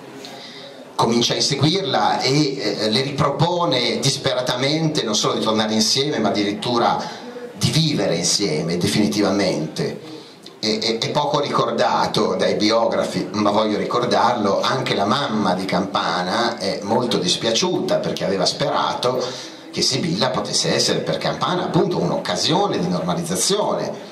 E c'è una sua lettera a Sibilla di Fanny Campana in cui dice beh forse sarebbe meglio che vi sposaste, no? l'invita a regolarizzare la loro posizione, ma naturalmente non è possibile. Eh, vale la pena di ricordare che mentre avvengono questi drammatici eh, eventi, eh, Sibilla, siamo dell'aprile direi del 17, riceve anche l'annuncio della morte di sua madre che muore in manicomio e non entro su questa vicenda, certo sono circostanze che, che colpiscono. Campana eh, cerca ancora di essere tenero, da un'altra parte cerca di farla ingelosire, non si sa se è vero, ma le racconta di una storia con una pupattola che avrebbe trovato e con cui recitavo la commedia dell'amore disperato e la insegue al nord, in particolare a Milano, all'Hotel Manin dove crede che sia, ma poi Sibilla se ne va, e, insomma mm, i passaggi sono molti e, e, li tralascio. Fatto sta che il loro ultimo incontro, ultimo, ultimissimo, è davvero un incontro molto infelice perché eh, Dino Campana viene arrestato al solito, gli capitava spesso per insufficienza di documenti, perché per vagabondaggio, il vagabondaggio era un reato, quindi bastava quello, di nuovo dovremmo fare un ragionamento molto più articolato su che cos'è la repressione sociale in un paese dove solo camminare per strada in modo non riconoscibile eh, significa poter finire in galera aggiungendo che Campana, e di nuovo i suoi risentimenti potevano avere delle motivazioni, veniva spesso fermato perché essendo biondastro e parlando spesso, declamando versi in tedesco, veniva scambiato per un tedesco. Ci sono molti episodi in questo senso, a un certo punto a Livorno, poco prima di conoscere Sibilla, gli capitò persino di arrivare quasi a un duello con un giornalista del telegrafo di Livorno e quindi eh, il povero Campana eh, capitava in situazioni non gradevoli e non sempre per colpa propria. Fatto sta che appunto Campana viene fermato dalla polizia per vagabondaggio, siamo nel settembre del 1917 e Sibilla si adopera presso i suoi amici più influenti perché Campana possa uscire e lo va a vedere, lo vede per l'ultima volta, racconta che, che, e leggo le sue righe, ottenne di rivederlo attraverso le sbarre, gli singhiozzava, mi chiamava Rina, Rina, mi baciava le mani tra i ferri, fuggì, ebbe dal procuratore la promessa che sarebbe stato liberato. E scrive ancora a Cecchi, è stato un colloquio di mezz'ora, i carcerieri avevano quasi l'aria di patire sentendo lui singhiozzare e vedendo me irrigidita. Non si vedranno mai più, Sibilla scriverà di Campana in particolare c'è un noto passo in Amo dunque sono in cui parla eh, dell'Orfeo folle che era, Cam, che era, Campana appunto e eh, Dino certamente va precipitando in uno stato mentale sempre più preoccupante nel quale non mancano gli episodi di, di, di violenza nel senso di violenza paranoica nei confronti di Sibilla. Eh, alle volte scatenata e poco controllabile alle volte più colta fra le varie manifestazioni dell'ambivalenza emotiva di Dino nei confronti della donna voglio ricordare un episodio abbastanza curioso e per certi aspetti straordinario, la traduzione fatta da Dino Campana stesso di um, alcuni versi del Faust di Goethe, che sono i versi relativi all'episodio della notte di Valpurga, in cui c'è una misteriosa figura femminile che somiglia a Gretchen che, che, cammina ma è come se fosse già morta e ha una sottile traccia di sangue sul collo come la decapitazione da cui Gretchen sarà colpita. Si intitola letteratura cioè Campana mette questo titolo quasi fosse il simbolo no, della letteratura. E certo eh, non, non, sembra una manifestazione eh, particolarmente lineare quantomeno dal punto di vista affettivo nei confronti della figura femminile. E d'altra parte Campana resta molto lucido. Lucido nei confronti del suo squilibrio lucido nella consapevolezza della impossibilità di trattenere la propria stessa violenza. Eh, Campana non è un poeta maledetto in questo senso perché non ha mai fatto del suo squilibrio una bandiera, al contrario, lo nascondeva, lo trattava con, eh, diciamo, con atteggiamento privo di qualsiasi autoindulgenza, soltanto ancora poche righe, vado a concludere di una lettera a Carlo Carrà, ce ne sono, eh, ce n'è più di una di lettera a Carlo Carrà, che era un amico comune peraltro Scrive Campana, caro Carrà, è giunta l'ora. Però prima vorrei sapere qualche cosa, tutto quello che si può dire, ci sono dei puntini e si capisce a chi allude. Spero che sarai pietoso a questo mio ultimo desiderio e, di, e che darai qualcosa di... nel suo ultimo periodo, sai, sia ai tallone che ai salfatti, eccetera. Cardarelli ha detto che son marcio e ha ragione. Onde il ridicolo della mia tragedia, eppure per quanto ho potuto mi sono tenuto lontano dal disgustoso e ho lasciato al destino esplicare la sua ferocia. Se in una notte, in una grande città dove ho perduto il mio amore, mi sono messo a piagnucolare, vi domando perdono. Sapevate del resto che ero un imbecille, ma Cardarelli non è abbastanza forte per dirlo. Lo sentivo senza di lui, anche allora. Ovviamente il grande amore è Sibilla e vedete Campana come tratta se stesso, si dà dell'imbecille e conferma che è marcio, come dice Cardarelli. Cerca ancora di rivedere Sibilla e le ultimissimi scampoli di, questi, di, questo discorso amoroso fanno paura, no? Campana addirittura l'ultimo messaggino, l'ultimo mm, breve messaggio lo manda da, dal manicomio, chiede di, di, di andarlo a prendere. E a questo punto però la sua vicenda è terminata e così è terminato questo carteggio eh, che come dicevo prima è eh, un libro, un libro che merita di essere letto anche nella sua strana unità. Non è nato come libro, ma così è rimasto. Una letteratura inquietante, mi viene da dire, anche una lettura che ci fa pensare al rapporto oscuro che c'è fra il nostro quotidiano e non solo lo squilibrio, ma anche la poesia e l'amore, perché no? Ripeto, senza nessuna indulgenza verso l'irrazionalismo, ma forse un po' è capitato a tutti. Alla fine eh, di una lettera, una delle più belle, proprio quella che Matacota ha portato via, Campana scrive conferma che la sua scrittura non è rivolta a un pubblico esterno, scrive una frase nota, le mie lettere sono fatte per essere bruciate, oserei dire per fortuna non è stato fatto. Grazie.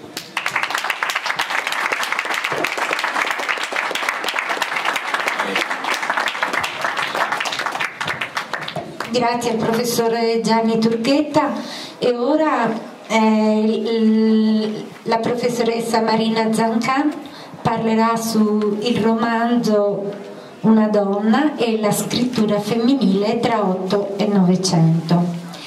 La professoressa Marina Zancan è docente di letteratura italiana moderna e contemporanea all'Università La Sapienza di Roma, coordina il dottorato internazionale in studi di genere, fa parte del consiglio didattico scientifico del Master in editoria, giornalismo e management culturali. È una delle più importanti studiose italiane nella storia dell'intellettualità femminile. Si è occupata di questioni storiografiche, autori e testi del Novecento, con attenzione particolare al dibattito teorico e al ruolo degli intellettuali nella società italiana della seconda metà del secolo, al rapporto tradizione e innovazione, al confronto e allo scambio tra codici letterari ed altri codici della rappresentazione artistica e della comunicazione sociale in questo contesto con l'obiettivo di ricostruire in rapporto alla tradizione letteraria frammenti di storia dell'intellettualità femminile ha lavorato al recupero e all'interpretazione di testi di donne risalendo dal Novecento a fasi e figure del passato. Ha pubblicato tantissime cose, allora eh, velocemente ha pubblicato Franco Fortini, un, un, racconto disperso di Elio Vittorini, Cinema e letteratura del neorealismo, Nel cerchio della luna, Progetto Politecnico, La donna in storia della letteratura italiana, Svelamento, Sibilla Leramo, una biografia intellettuale, lettere di Caterina da Siena, Le rime di Gaspare Stampa, Una donna, di Sibilla Leramo, Le città invisibili, no le voglio leggere tutte perché è troppo bello, Le città invisibili di Italo Calvino, ma eh, questo è molto importante, il doppio itinerario della scrittura, La donna nella tradizione letteraria italiana, editore Inaudi. E, e tantissime altre cose, figure della memoria, la storia nei racconti delle donne e soprattutto mh, fa parte della fondazione Alba de Cespedes eh, di cui ha curato moltissimi il, il lavoro il prima e il dopo di Alba de Cespedes e tante altre cose. E ha anche curato la pubblicazione di Artemisia di Anna Avanti. Eh, quindi ora do a lei la parola. Grazie Grazie della presentazione e grazie prima ancora dell'invito. Si sente messo bene perché mi dà fastidio tenerlo in mano, scusate. Grazie di questo invito, io sono molto contenta di avere l'occasione di tornare a parlare di Sibilla Civitanova perché io ci sono stata già parecchi anni fa quando ci fu un grande convegno dedicato ecco, dedicato appunto a Sibilla Veramo e trovo giusto che Civitanova si faccia carico di una ripresa diciamo, di discorsi e di lavori su questa autrice che è veramente di grande importanza nella nostra tradizione. Dunque a me avete chiesto di parlare di una donna, quindi della prima grande opera di Aleramo e lo faccio con molta, con molta passione e con molto interesse. Lo faccio anche cercando, come sempre faccio, così risulta anche da questa straordinaria elencazione di titoli, lo faccio in rapporto alla tradizione letteraria, cioè a me interessa capire l'importanza di un testo, in particolare di un testo di un'autrice, e spiegherò perché, ma mi interessa anche capire perché e come sta o non sta all'interno della trasmissione, perché questo è fondamentale, cioè perché le donne, le autrici non ci sono tendenzialmente nella tradizione letteraria. Perché non li insegniamo a scuola? Perché i ragazzi studiano una tradizione letteraria italiana tutta al maschile. Questo non vuol dire che io, eh, come dire, sono interessata solo al recupero positivo delle figure femminili, mi piace ricostruire dei quadri complessi. Naturalmente non è facile fare questo in poco tempo, ma cercherò anche di dire perché eh, una donna non è solo la prima opera di questa nostra scrittrice, ma anche un testo importante della letteratura italiana del Novecento e come dobbiamo eh, leggerlo, no? in rapporto a scritture di altre donne e in rapporto con la tradizione nel suo insieme. Allora abbiamo detto prima, presentando la, e la sua produzione, abbiamo detto una donna 1906-1907, cioè viene eh, concluso nel 6, distribuito nel 7, pubblicato dalla Società Tipografica Editoriale Nazionale Roma-Torino. Quindi esce tra il 6 e il 7. È la prima opera, ha già pubblicato alcune cose, ma è la prima grande opera di questa autrice ed è la prima firmata Sibilla Aleramo il nome è Rina Pierangeli Faccio, come sapete, nata ad Alessandria nel 1876, morta a Roma nel 1960 e a lungo vissuta appunto a Civitanova. Perché sottolineo il fatto che è la prima opera firmata a Sibilla Leramo? Perché secondo me questo è un dato importante per l'interpretazione del testo cioè noi dobbiamo tenere presente che eh, Sibilla Leramo nasce diciamo, con questo romanzo, e cioè Rina Faccio si trasforma in Sibilla Leramo appunto attraverso la scrittura di questo romanzo e ce lo racconta, cioè ha a che fare con la cosiddetta trama del romanzo stesso. Quindi è il primo romanzo, quello che segna la nascita dell'autrice, è il romanzo che le dà sicuramente la notorietà ed è anche il romanzo che ne fissa l'immagine, nel bene e nel male, devo dire, no? nel senso che in qualche modo una eh, giovane donna che poi cresce nell'esercizio della scrittura, che si trasforma, come abbiamo sentito anche dalle altre relazioni e soprattutto mh, la prima, insomma si trasforma nel rapporto con la scrittura, rimane molto vincolata al successo della sua prima opera. Vediamo un po' la storia del testo. Dunque, ho detto è pubblicato nel 1906, ma eh, viene scritto tra il 1902 e il 1906 e abbiamo tre redazioni questo non mi fermerò molto, è sempre molto interessante per noi che studiamo i testi vedere no? le diverse redazioni, ma mi interessa per ricostruire un po' anche la trasformazione di questo romanzo. Tre redazioni che eh, portano poi alla pubblicazione del 6 di un romanzo che eh, nel 3 è parecchio diverso da quello che oggi leggiamo e bisogna capire perché quando lo scrive? Beh, dal punto di vista della biografia dell'autrice, lei scrive, come ci racconta lei stessa nel romanzo, questo romanzo quando abbandona Porto Civitanova Marche e si trasferisce a Roma. Quindi quando passa, da, quando lascia eh, Ulderico e eh, Walter, il marito e il figlio, e sceglie appunto, come vedremo, di vivere per sé. Quando compie questo gesto di rottura e di separazione si trasferisce a Roma e si trasferisce in un primo momento nella pineta Sacchetti, nella casa appunto del padre, incomincia a comporre questo romanzo. Sicuramente, come si diceva prima, un testo che molto ha a che fare con l'esperienza dell'autrice, ma sicuramente anche un testo solo in questo senso legato ad un percorso autobiografico. Non è un'autobiografia, ma è un romanzo, come d'altra parte dice chiaramente anche la presentazione del volume, presentato appunto come romanzo. È un romanzo che racconta la storia di un cambiamento e una nuova nascita, una morte e una rinascita, una nascita nuova che è segnata appunto dall'adozione di un nuovo nome.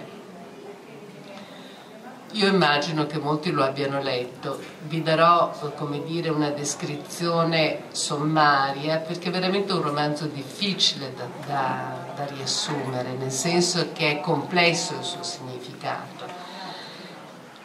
Racconta la vicenda della protagonista e la racconta dall'infanzia al tempo della scrittura del romanzo, cioè dalla giovinezza infanzia giovinezza al tempo della scrittura del romanzo, cioè come capite racconta quel periodo che molto ha a che fare con la sua vita appunto qui, eh, che ehm, segna, come dire, la crisi di un'identità e la riformulazione di un'altra identità un'identità che è strettamente connessa con il lavoro intellettuale e con l'esercizio della scrittura, è una rigenerazione attraverso la scrittura. Come, come la racconta? Beh, sapete che è una successione di, di capitoli brevi, ci troviamo di fronte a 22 capitoli brevi che si succedono diacronicamente, quindi in qualche modo possiamo, potremmo anche pensare di essere a fronte di un racconto, beh, se usiamo le categorie del letterario, diciamo di tipo positivistico, naturalistico positivistico, cioè un racconto che segue un andamento appunto diacronico che però è diviso in tre parti, quindi lei riunisce questi 22 capitoli brevi in tre parti e la, ehm, la, la, la ricomposizione diciamo, della materia nelle tre parti ci racconta un'altra storia che non è semplicemente l'autobiografia dell'autrice. Perché dico questo? Beh, perché la prima parte, la prima parte racconta diciamo, eh, il percorso che accompagna la protagonista dalla giovinezza libera e gagliarda, come dice l'inizio eh, del testo, no? eh, fino al momento in cui questa giovane donna eh, tenta il suicidio. Quindi abbiamo dal punto di vista della biografia dell'autrice abbiamo un pezzo diciamo, di storia vissuta a Milano poi il passaggio qui a Civitanova, abbiamo il periodo in cui lavora nella fabbrica del padre, il momento in cui incontra quello che sarà il marito, l'aborto, il matrimonio, l'aborto, poi la nascita del primo figlio, fino quindi da un lato abbiamo come dire prima il momento della, della, della, della fanciullezza vissuta all'insegna del rapporto con il padre poi abbiamo l'identificazione con il ruolo femminile rappresentato dalla figura materna e l'assunzione in qualche modo del destino che la porta a ripetere il gesto della madre. Anche Sibilla, te, quella che sarà Sibilla, Rina, diciamo, eh, tenta il suicidio. Quindi la prima parte si chiude con questo gesto di morte. Capite bene che è il percorso certo autobiografico, è un'esperienza che lei racconta realmente vissuta, ma è anche una, un racconto diciamo, che sta a simboleggiare un'esperienza e la messa in crisi di questa esperienza l'assunzione di un ruolo che è il ruolo della donna all'interno della famiglia e della, sua funzione diciamo, eh, familiare e materna e poi questo gesto di morte che chiude quell'esperienza, la chiude. E qui comincia la seconda parte. La seconda parte del romanzo in cui eh, la protagonista dice la donna che io era stata doveva morire, doveva morire. Quindi una morte simbolica e eh, diciamo l'avvio per quella che è una nuova nascita, appunto. Anche qui c'è poco da riassumere, sono i primi passi di questa giovane donna verso quello che è il mondo della lettura e della scrittura. C'è naturalmente la figura del figlio che accompagna questi primi momenti e una progressiva ridefinizione del materno in rapporto a questa pratica appunto della lettura e della eh, scrittura che per Sibilla Leramo si accompagna con la scoperta della questione sociale, con i primi contatti con l'emancipazionismo, e cioè con quella che è la sua esperienza sostanzialmente vissuta a Milano e poi vissuta ulteriormente a Roma, tra Milano e Roma. Quindi un qualcosa che non ha a che fare con l'esperienza vissuta qui, ma è il contatto che ha quando dopo sposata per un certo un anno, mi pare, nel 1899 va a Milano, voi sapete che questi sono gli anni dell'emancipazionismo e sicuramente Milano e Roma sono i due grandi centri dell'emancipazionismo italiano. Lei entra in rapporto con Ersilia Maino, e con quello che è la grande associazione nazionale delle emancipazioniste diretta appunto da Ersilia Maino che porta il titolo di Unione Femminile Nazionale. Scri- lei scriverà per un anno, anzi dirige un giornale emancipazionista intitolato L'Italia femminile. Quindi abbiamo in questo secondo tratto del romanzo qualcosa che porta in primo piano anche l'importanza di questo incontro con il movimento emancipazionista, su cui poi tornerò, perché è molto interessante vedere proprio in rapporto a questo romanzo come i suoi problemi siano anche con le donne, non soltanto con i critici letterari e con la storiografia letteraria, ma anche con le emancipazioniste e con le autrici, appunto, che scrivono e sono presenti in questi anni a livello nazionale. E poi abbiamo la terza parte del romanzo, è una parte breve ed è quella che chiude con la scelta, cioè eh, messa a fronte diciamo, eh, della eh, della scelta tra l'essere madre e moglie, continuare diciamo, in questo ruolo, oppure essere qualcosa di diverso, Sibilla sceglie per sé, sceglie di essere se stessa e eh, abbandona il figlio e arriva alla scrittura, appunto, da lì incomincia la composizione del romanzo che noi leggiamo. Naturalmente questo è un riassunto che anche contiene un'interpretazione che vi spiega appunto qual è il senso reale del romanzo. Lei vuole raccontare la nascita di una scrittrice, la sua rinascita attraverso appunto la scrittura.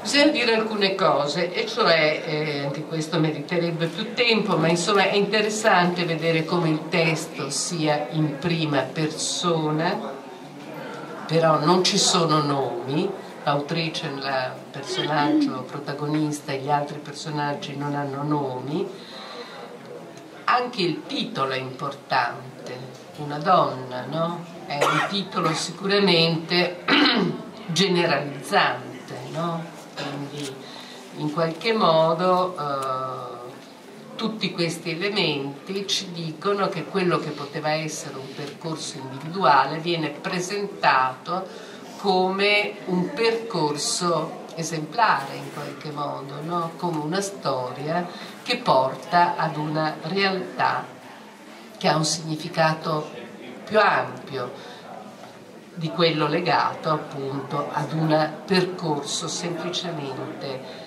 individuale, e cioè la nascita di una donna, appunto di una donna che mette in crisi e discute nel testo un principio cardine del ruolo femminile, e cioè la maternità. Allora voi dovete tenere presente che siamo nel 1906, su questo bisogna un pochino riflettere. E anche oggi è un discorso complesso, non solo nel 1906. Io vi, vi dico semplicemente il, quali sono le domande che lei ci fa e si fa nella parte finale di questo romanzo, perché lei dice, si chiede perché nella maternità adoriamo il sacrificio Dice, se la catena si spezzasse una buona volta e se la madre non sopprimesse in sé la donna e un figlio apprendesse dalla vita di lei un esempio di dignità. Allora, vedete, il discorso che fa lei sulla maternità è molto complesso, no? Non è un discorso diciamo, di identificazione, non è neanche un discorso di rifiuto del materno, ma è un discorso di, che tende a ridefinire il rapporto della madre con il figlio e appunto tende a dire che non può essere un processo di identificazione, di annullamento di identità, quello dell'esercizio di questa funzione complessa che appunto il materno. Questa sua posizione eh, le apre un sacco di problemi anche con le donne di primo Novecento, cioè con le emancipazioniste cu- a cui lei guarda con estremo interesse e di cui fa parte. E questo io voglio fermarmici un pochino perché è interessante, torniamo alla storia del testo, cioè il passaggio dalla prima alla seconda alla terza redazione. Che cosa fa la, uh, Aleramo dopo aver scritto la prima redazione? Cioè una volta terminato la sua prima stesura, nel 1903 manda in lettura il suo uh, manoscritto alla Ersilia Maino, che era una figura di grande riferimento per tutte le donne intellettuali e, e no, ma anche le intellettuali di primo Novecento. E le dice, le scrive appunto una lettera in cui dice eccoti il manoscritto della mia storia fino a 16 mesi fa ed è, e dice, aggiunge qualcosa che per noi è interessante, perché dice e manca l'ultimo capitolo di poche pagine in cui dirò come, arrivata a Roma, mi confermai nella risoluzione di non tornare da mio marito, come ho inutilmente lottato per ottenere mio figlio e come infine acquistai la certezza di poter vivere utilmente appoggiata all'amore del solo uomo cui tutto il mio essere ha consentito e che mi ha fatta sua per sempre. Allora, l'altezza del 1903, come vedete, lei pensa ad un testo molto più autobiografico di quello che leggiamo oggi e soprattutto ad un romanzo che aveva una fine diversa, perché questo romanzo, quello che leggiamo noi, pubblicato, finisce con lei che parte e sceglie la scrittura.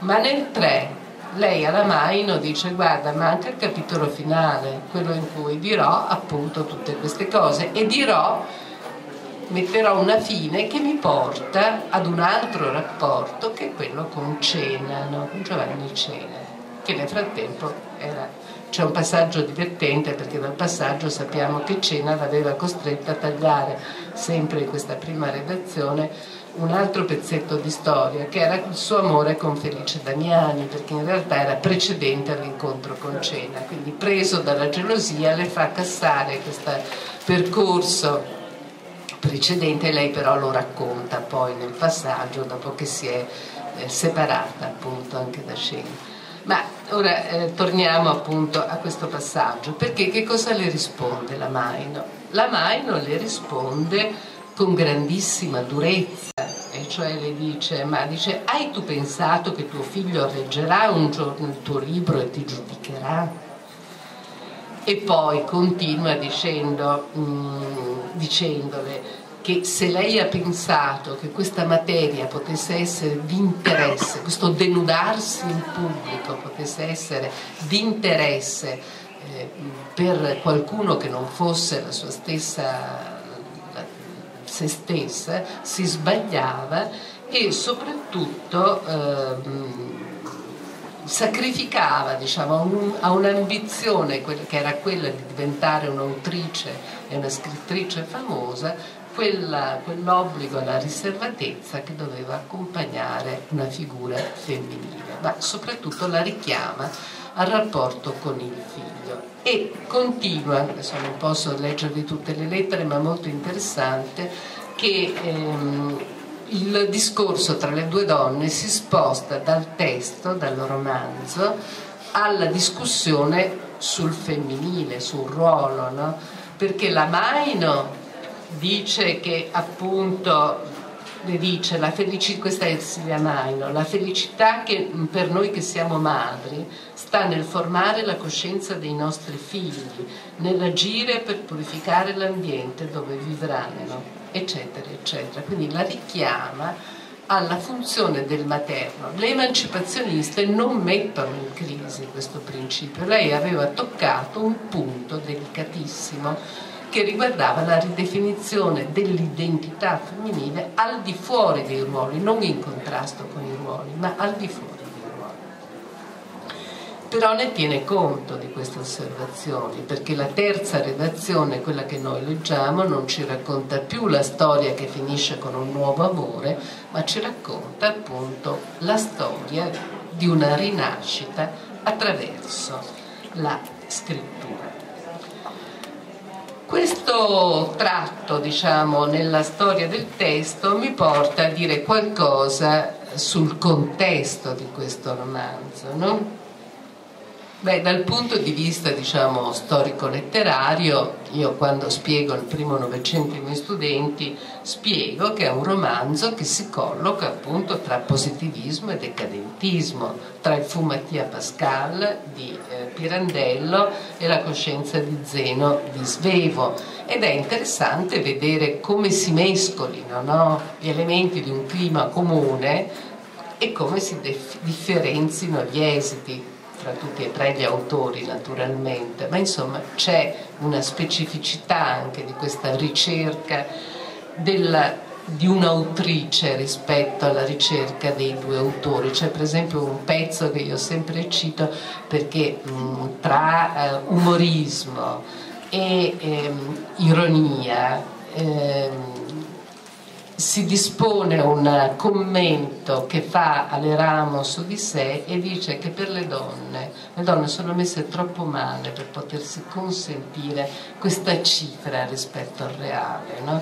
E quindi la dimensione tragica, dice, dipende dalla, è il segno diciamo, della condizione reale in cui noi viviamo. Quindi non, non mi appartiene, dice, questa cifra che consente di vedere il reale attraverso questa chiave no? che è data dall'umorismo, che è data dall'ironia.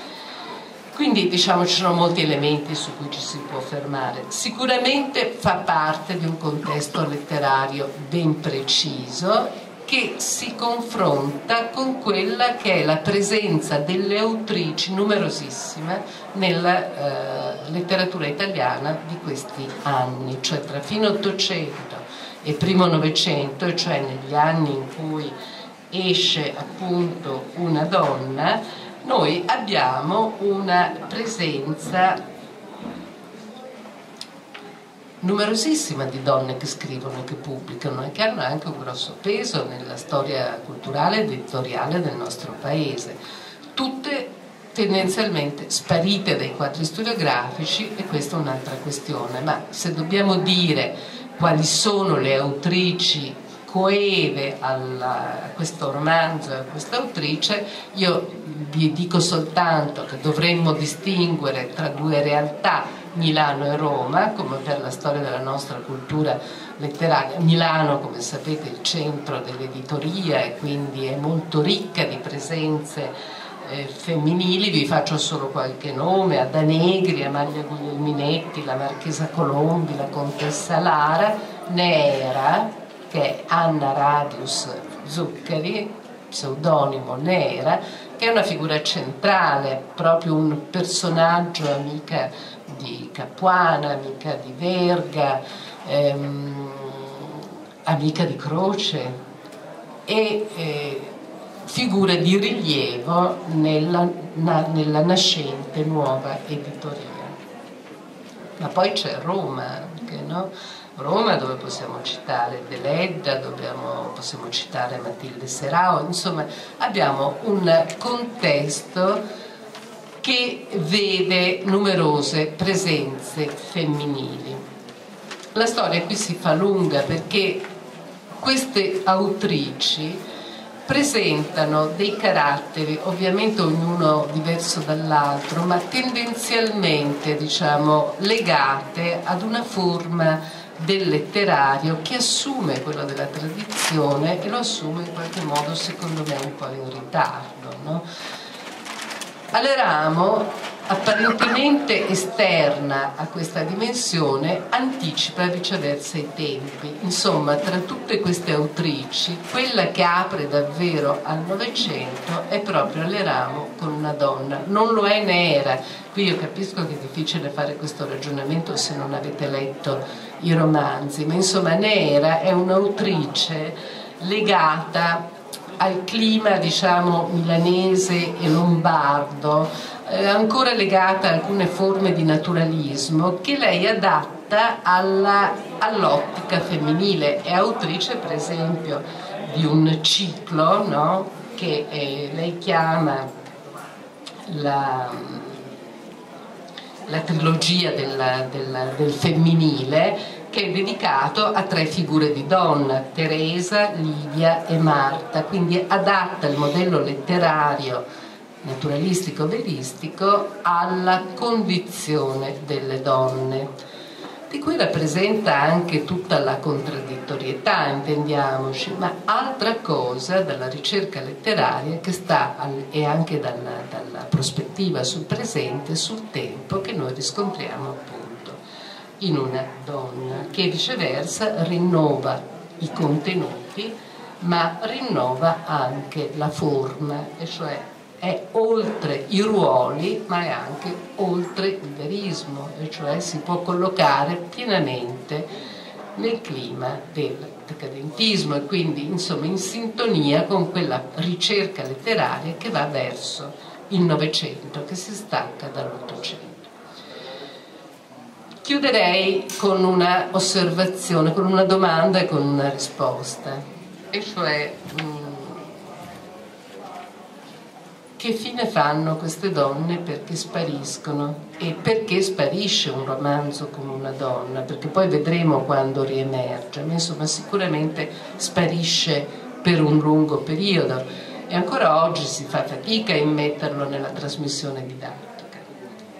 Io ho studiato questa cosa mm, studiando, uh, valutando le tendenze della, della, sistemazione della tradizione letteraria italiana all'interno dei filoni storiografici, no? cioè ho cercato di vedere come si formava e si trasmetteva la trasmissione. Voi sapete, siamo all'inizio dell'Italia Unita si forma la tradizione letteraria italiana, prima appunto non c'era, adesso qui non facciamo tutta la storia del genere, ma insomma da De Santis a Croce ci sono dei passaggi importanti. De Santis si scorda le donne, ma Croce no. Croce guarda con grande attenzione alle autrici di primo Novecento e le guarda attraverso sua, il suo ruolo di critico militante, cioè lui dedica, è lui che sulla critica fa le recensioni a queste autrici. Ed è lui che si inventa eh, questa definizione che io amo pochissimo di letteratura femminile. Io parlo di letteratura di donne che scrivono. Letteratura femminile è un qualcosa che svela subito no? il senso, lo sguardo, la direzione dello sguardo e se la inventa Croce. Croce parla di letteratura femminile e ce la definisce, ce la descrive, cioè dice che le donne, proprio perché dominate da uno sguardo immanente, sono legate ad una forma che è di per sé imprecisa, non poetica. Quindi se il vizio della forma è un elemento che connota la letteratura femminile, dove sta il valore? Il valore sta nei contenuti e quindi è il contenuto, l'eticità del contenuto che definisce il valore della scrittura. Per lui la scrittrice che proporrà come modello attraverso operazioni di tipo editoriali eh, italiana è di questa generazione è Nera, Nera che difende appunto il principio, che racconta il dramma di, essere, di assumersi ruoli, ma che lo fa proprio, insomma, e che dice che bisogna mantenerlo questo ruolo con tutta la carica di dolore e di sofferenza che sopporta. Quindi capite bene un principio diciamo, legato alla valutazione etica del contenuto. Spariscono naturalmente tantissime autrici, tutte quelle che vengono dopo la generazione di Nera e di, e di, e di queste scrittrici di fine Ottocento, spariscono tutte le donne che perché negli anni 30-40 diciamo, incominciano ad affermarsi Avanti, la Masino, la De Cespedes, incomincia a scrivere anche la primissima Ginsburg, poi ci saranno la Morante, altre importanti autrici che spariscono completamente perché eh, il principio, diciamo, ed è Croce che lo definisce, che pesa molto nella formazione della critica della storiografia italiana, tenetelo presente questo, che ci dà appunto questi principi, per cui la storiografia è ancora molto incerta su come trattare le autrici nei quadri storiografici. Aleramo era proprio fuori dal punto di vista etico, lei che scrive un libro per dire che appunto la maternità va ridefinita perché deve conciliarsi con l'identità femminile nella sua pienezza, non viene nemmeno nominata. Guardate che nel 6, 7, Croce scrive nei primi, nei primi 15 anni del Novecento, questo testo aveva avuto un grandissimo successo, non come testo letterario, viene discusso per i suoi contenuti ma entra nel dibattito politico e culturale di questo primo Novecento e viene tradotto, quindi impossibile che non si vedesse, non viene nemmeno nominato poi verrà assunto negli anni 30 fino agli anni, anni 30 e 40 da Mondadori, quindi ha una sua presenza in ambito letterario, nel 50 da Feltrinelli, ma riemerge prepotentemente con questa edizione, che è un'edizione storicamente importante perché è quella del 73, quando cioè mh, viene riproposta con una prefazione di Maria Antonietta Macciocchi a ridosso del neofemminismo. Eh sì, però eh, questo è un dato storico, fa parte della storia del testo, ma ancora una volta viene, come dire, mh, assunto in funzione di un discorso altro da quello letterario. Queste donne vogliono essere lette come, come autrici di letteratura non vogliono essere elette né come madri, né come mogli, né come emancipazioniste, né come femministe. C'è un'intera generazione di autrici del Novecento che dice ma noi siamo degli autori, perché se le autrici sono quelle che ci spiega Croce, e cioè che trasmettono un modello sociale, noi siamo a neutro, facciamo letteratura. E questa è la cosa più complicata, perché effettivamente ci troviamo di fronte ad immaginari diversi, perché diverse sono le esperienze, dissonanti spesso rispetto al quadro storiografico, alla ricerca letteraria coeva e bisogna avere la capacità di leggere e di interpretare, naturalmente senza tagliare fuori il resto, almeno io leggo tutti i testi, anche quelli degli uomini, riportandoli al contesto e quindi anche quelli delle donne, ma abituandoci a leggerli in quanto testi letterari, perché così sono stati scritti, questa è l'ambizione e questa è la realtà di questi romanzi. E eh, chiudo dicendo che in questo senso veramente una donna, pregi, difetti, limiti e valori, è sicuramente un romanzo molto importante della tradizione del nostro Novecento, è il romanzo che apre al Novecento portandosi dietro la complessità di una firma femminile che esibisce la sua diversità e così dobbiamo imparare appunto ad interpretarlo, a valutarlo, a criticarlo e a contestualizzarlo. Grazie.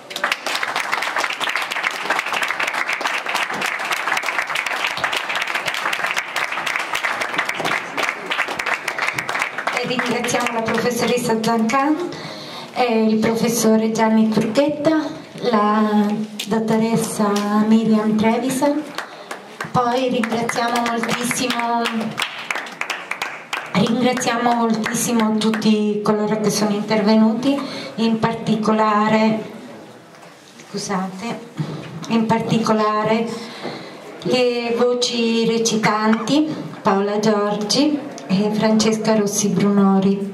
E ringraziamo il pubblico che è stato attentissimo e, e ci ha fatto, nonostante appunto le molte iniziative, siete accorsi numerosi. Grazie.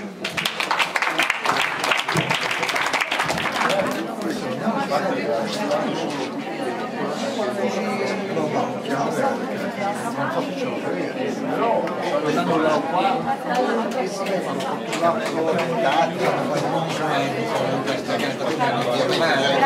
io l'ho messa un po' sul narrativo.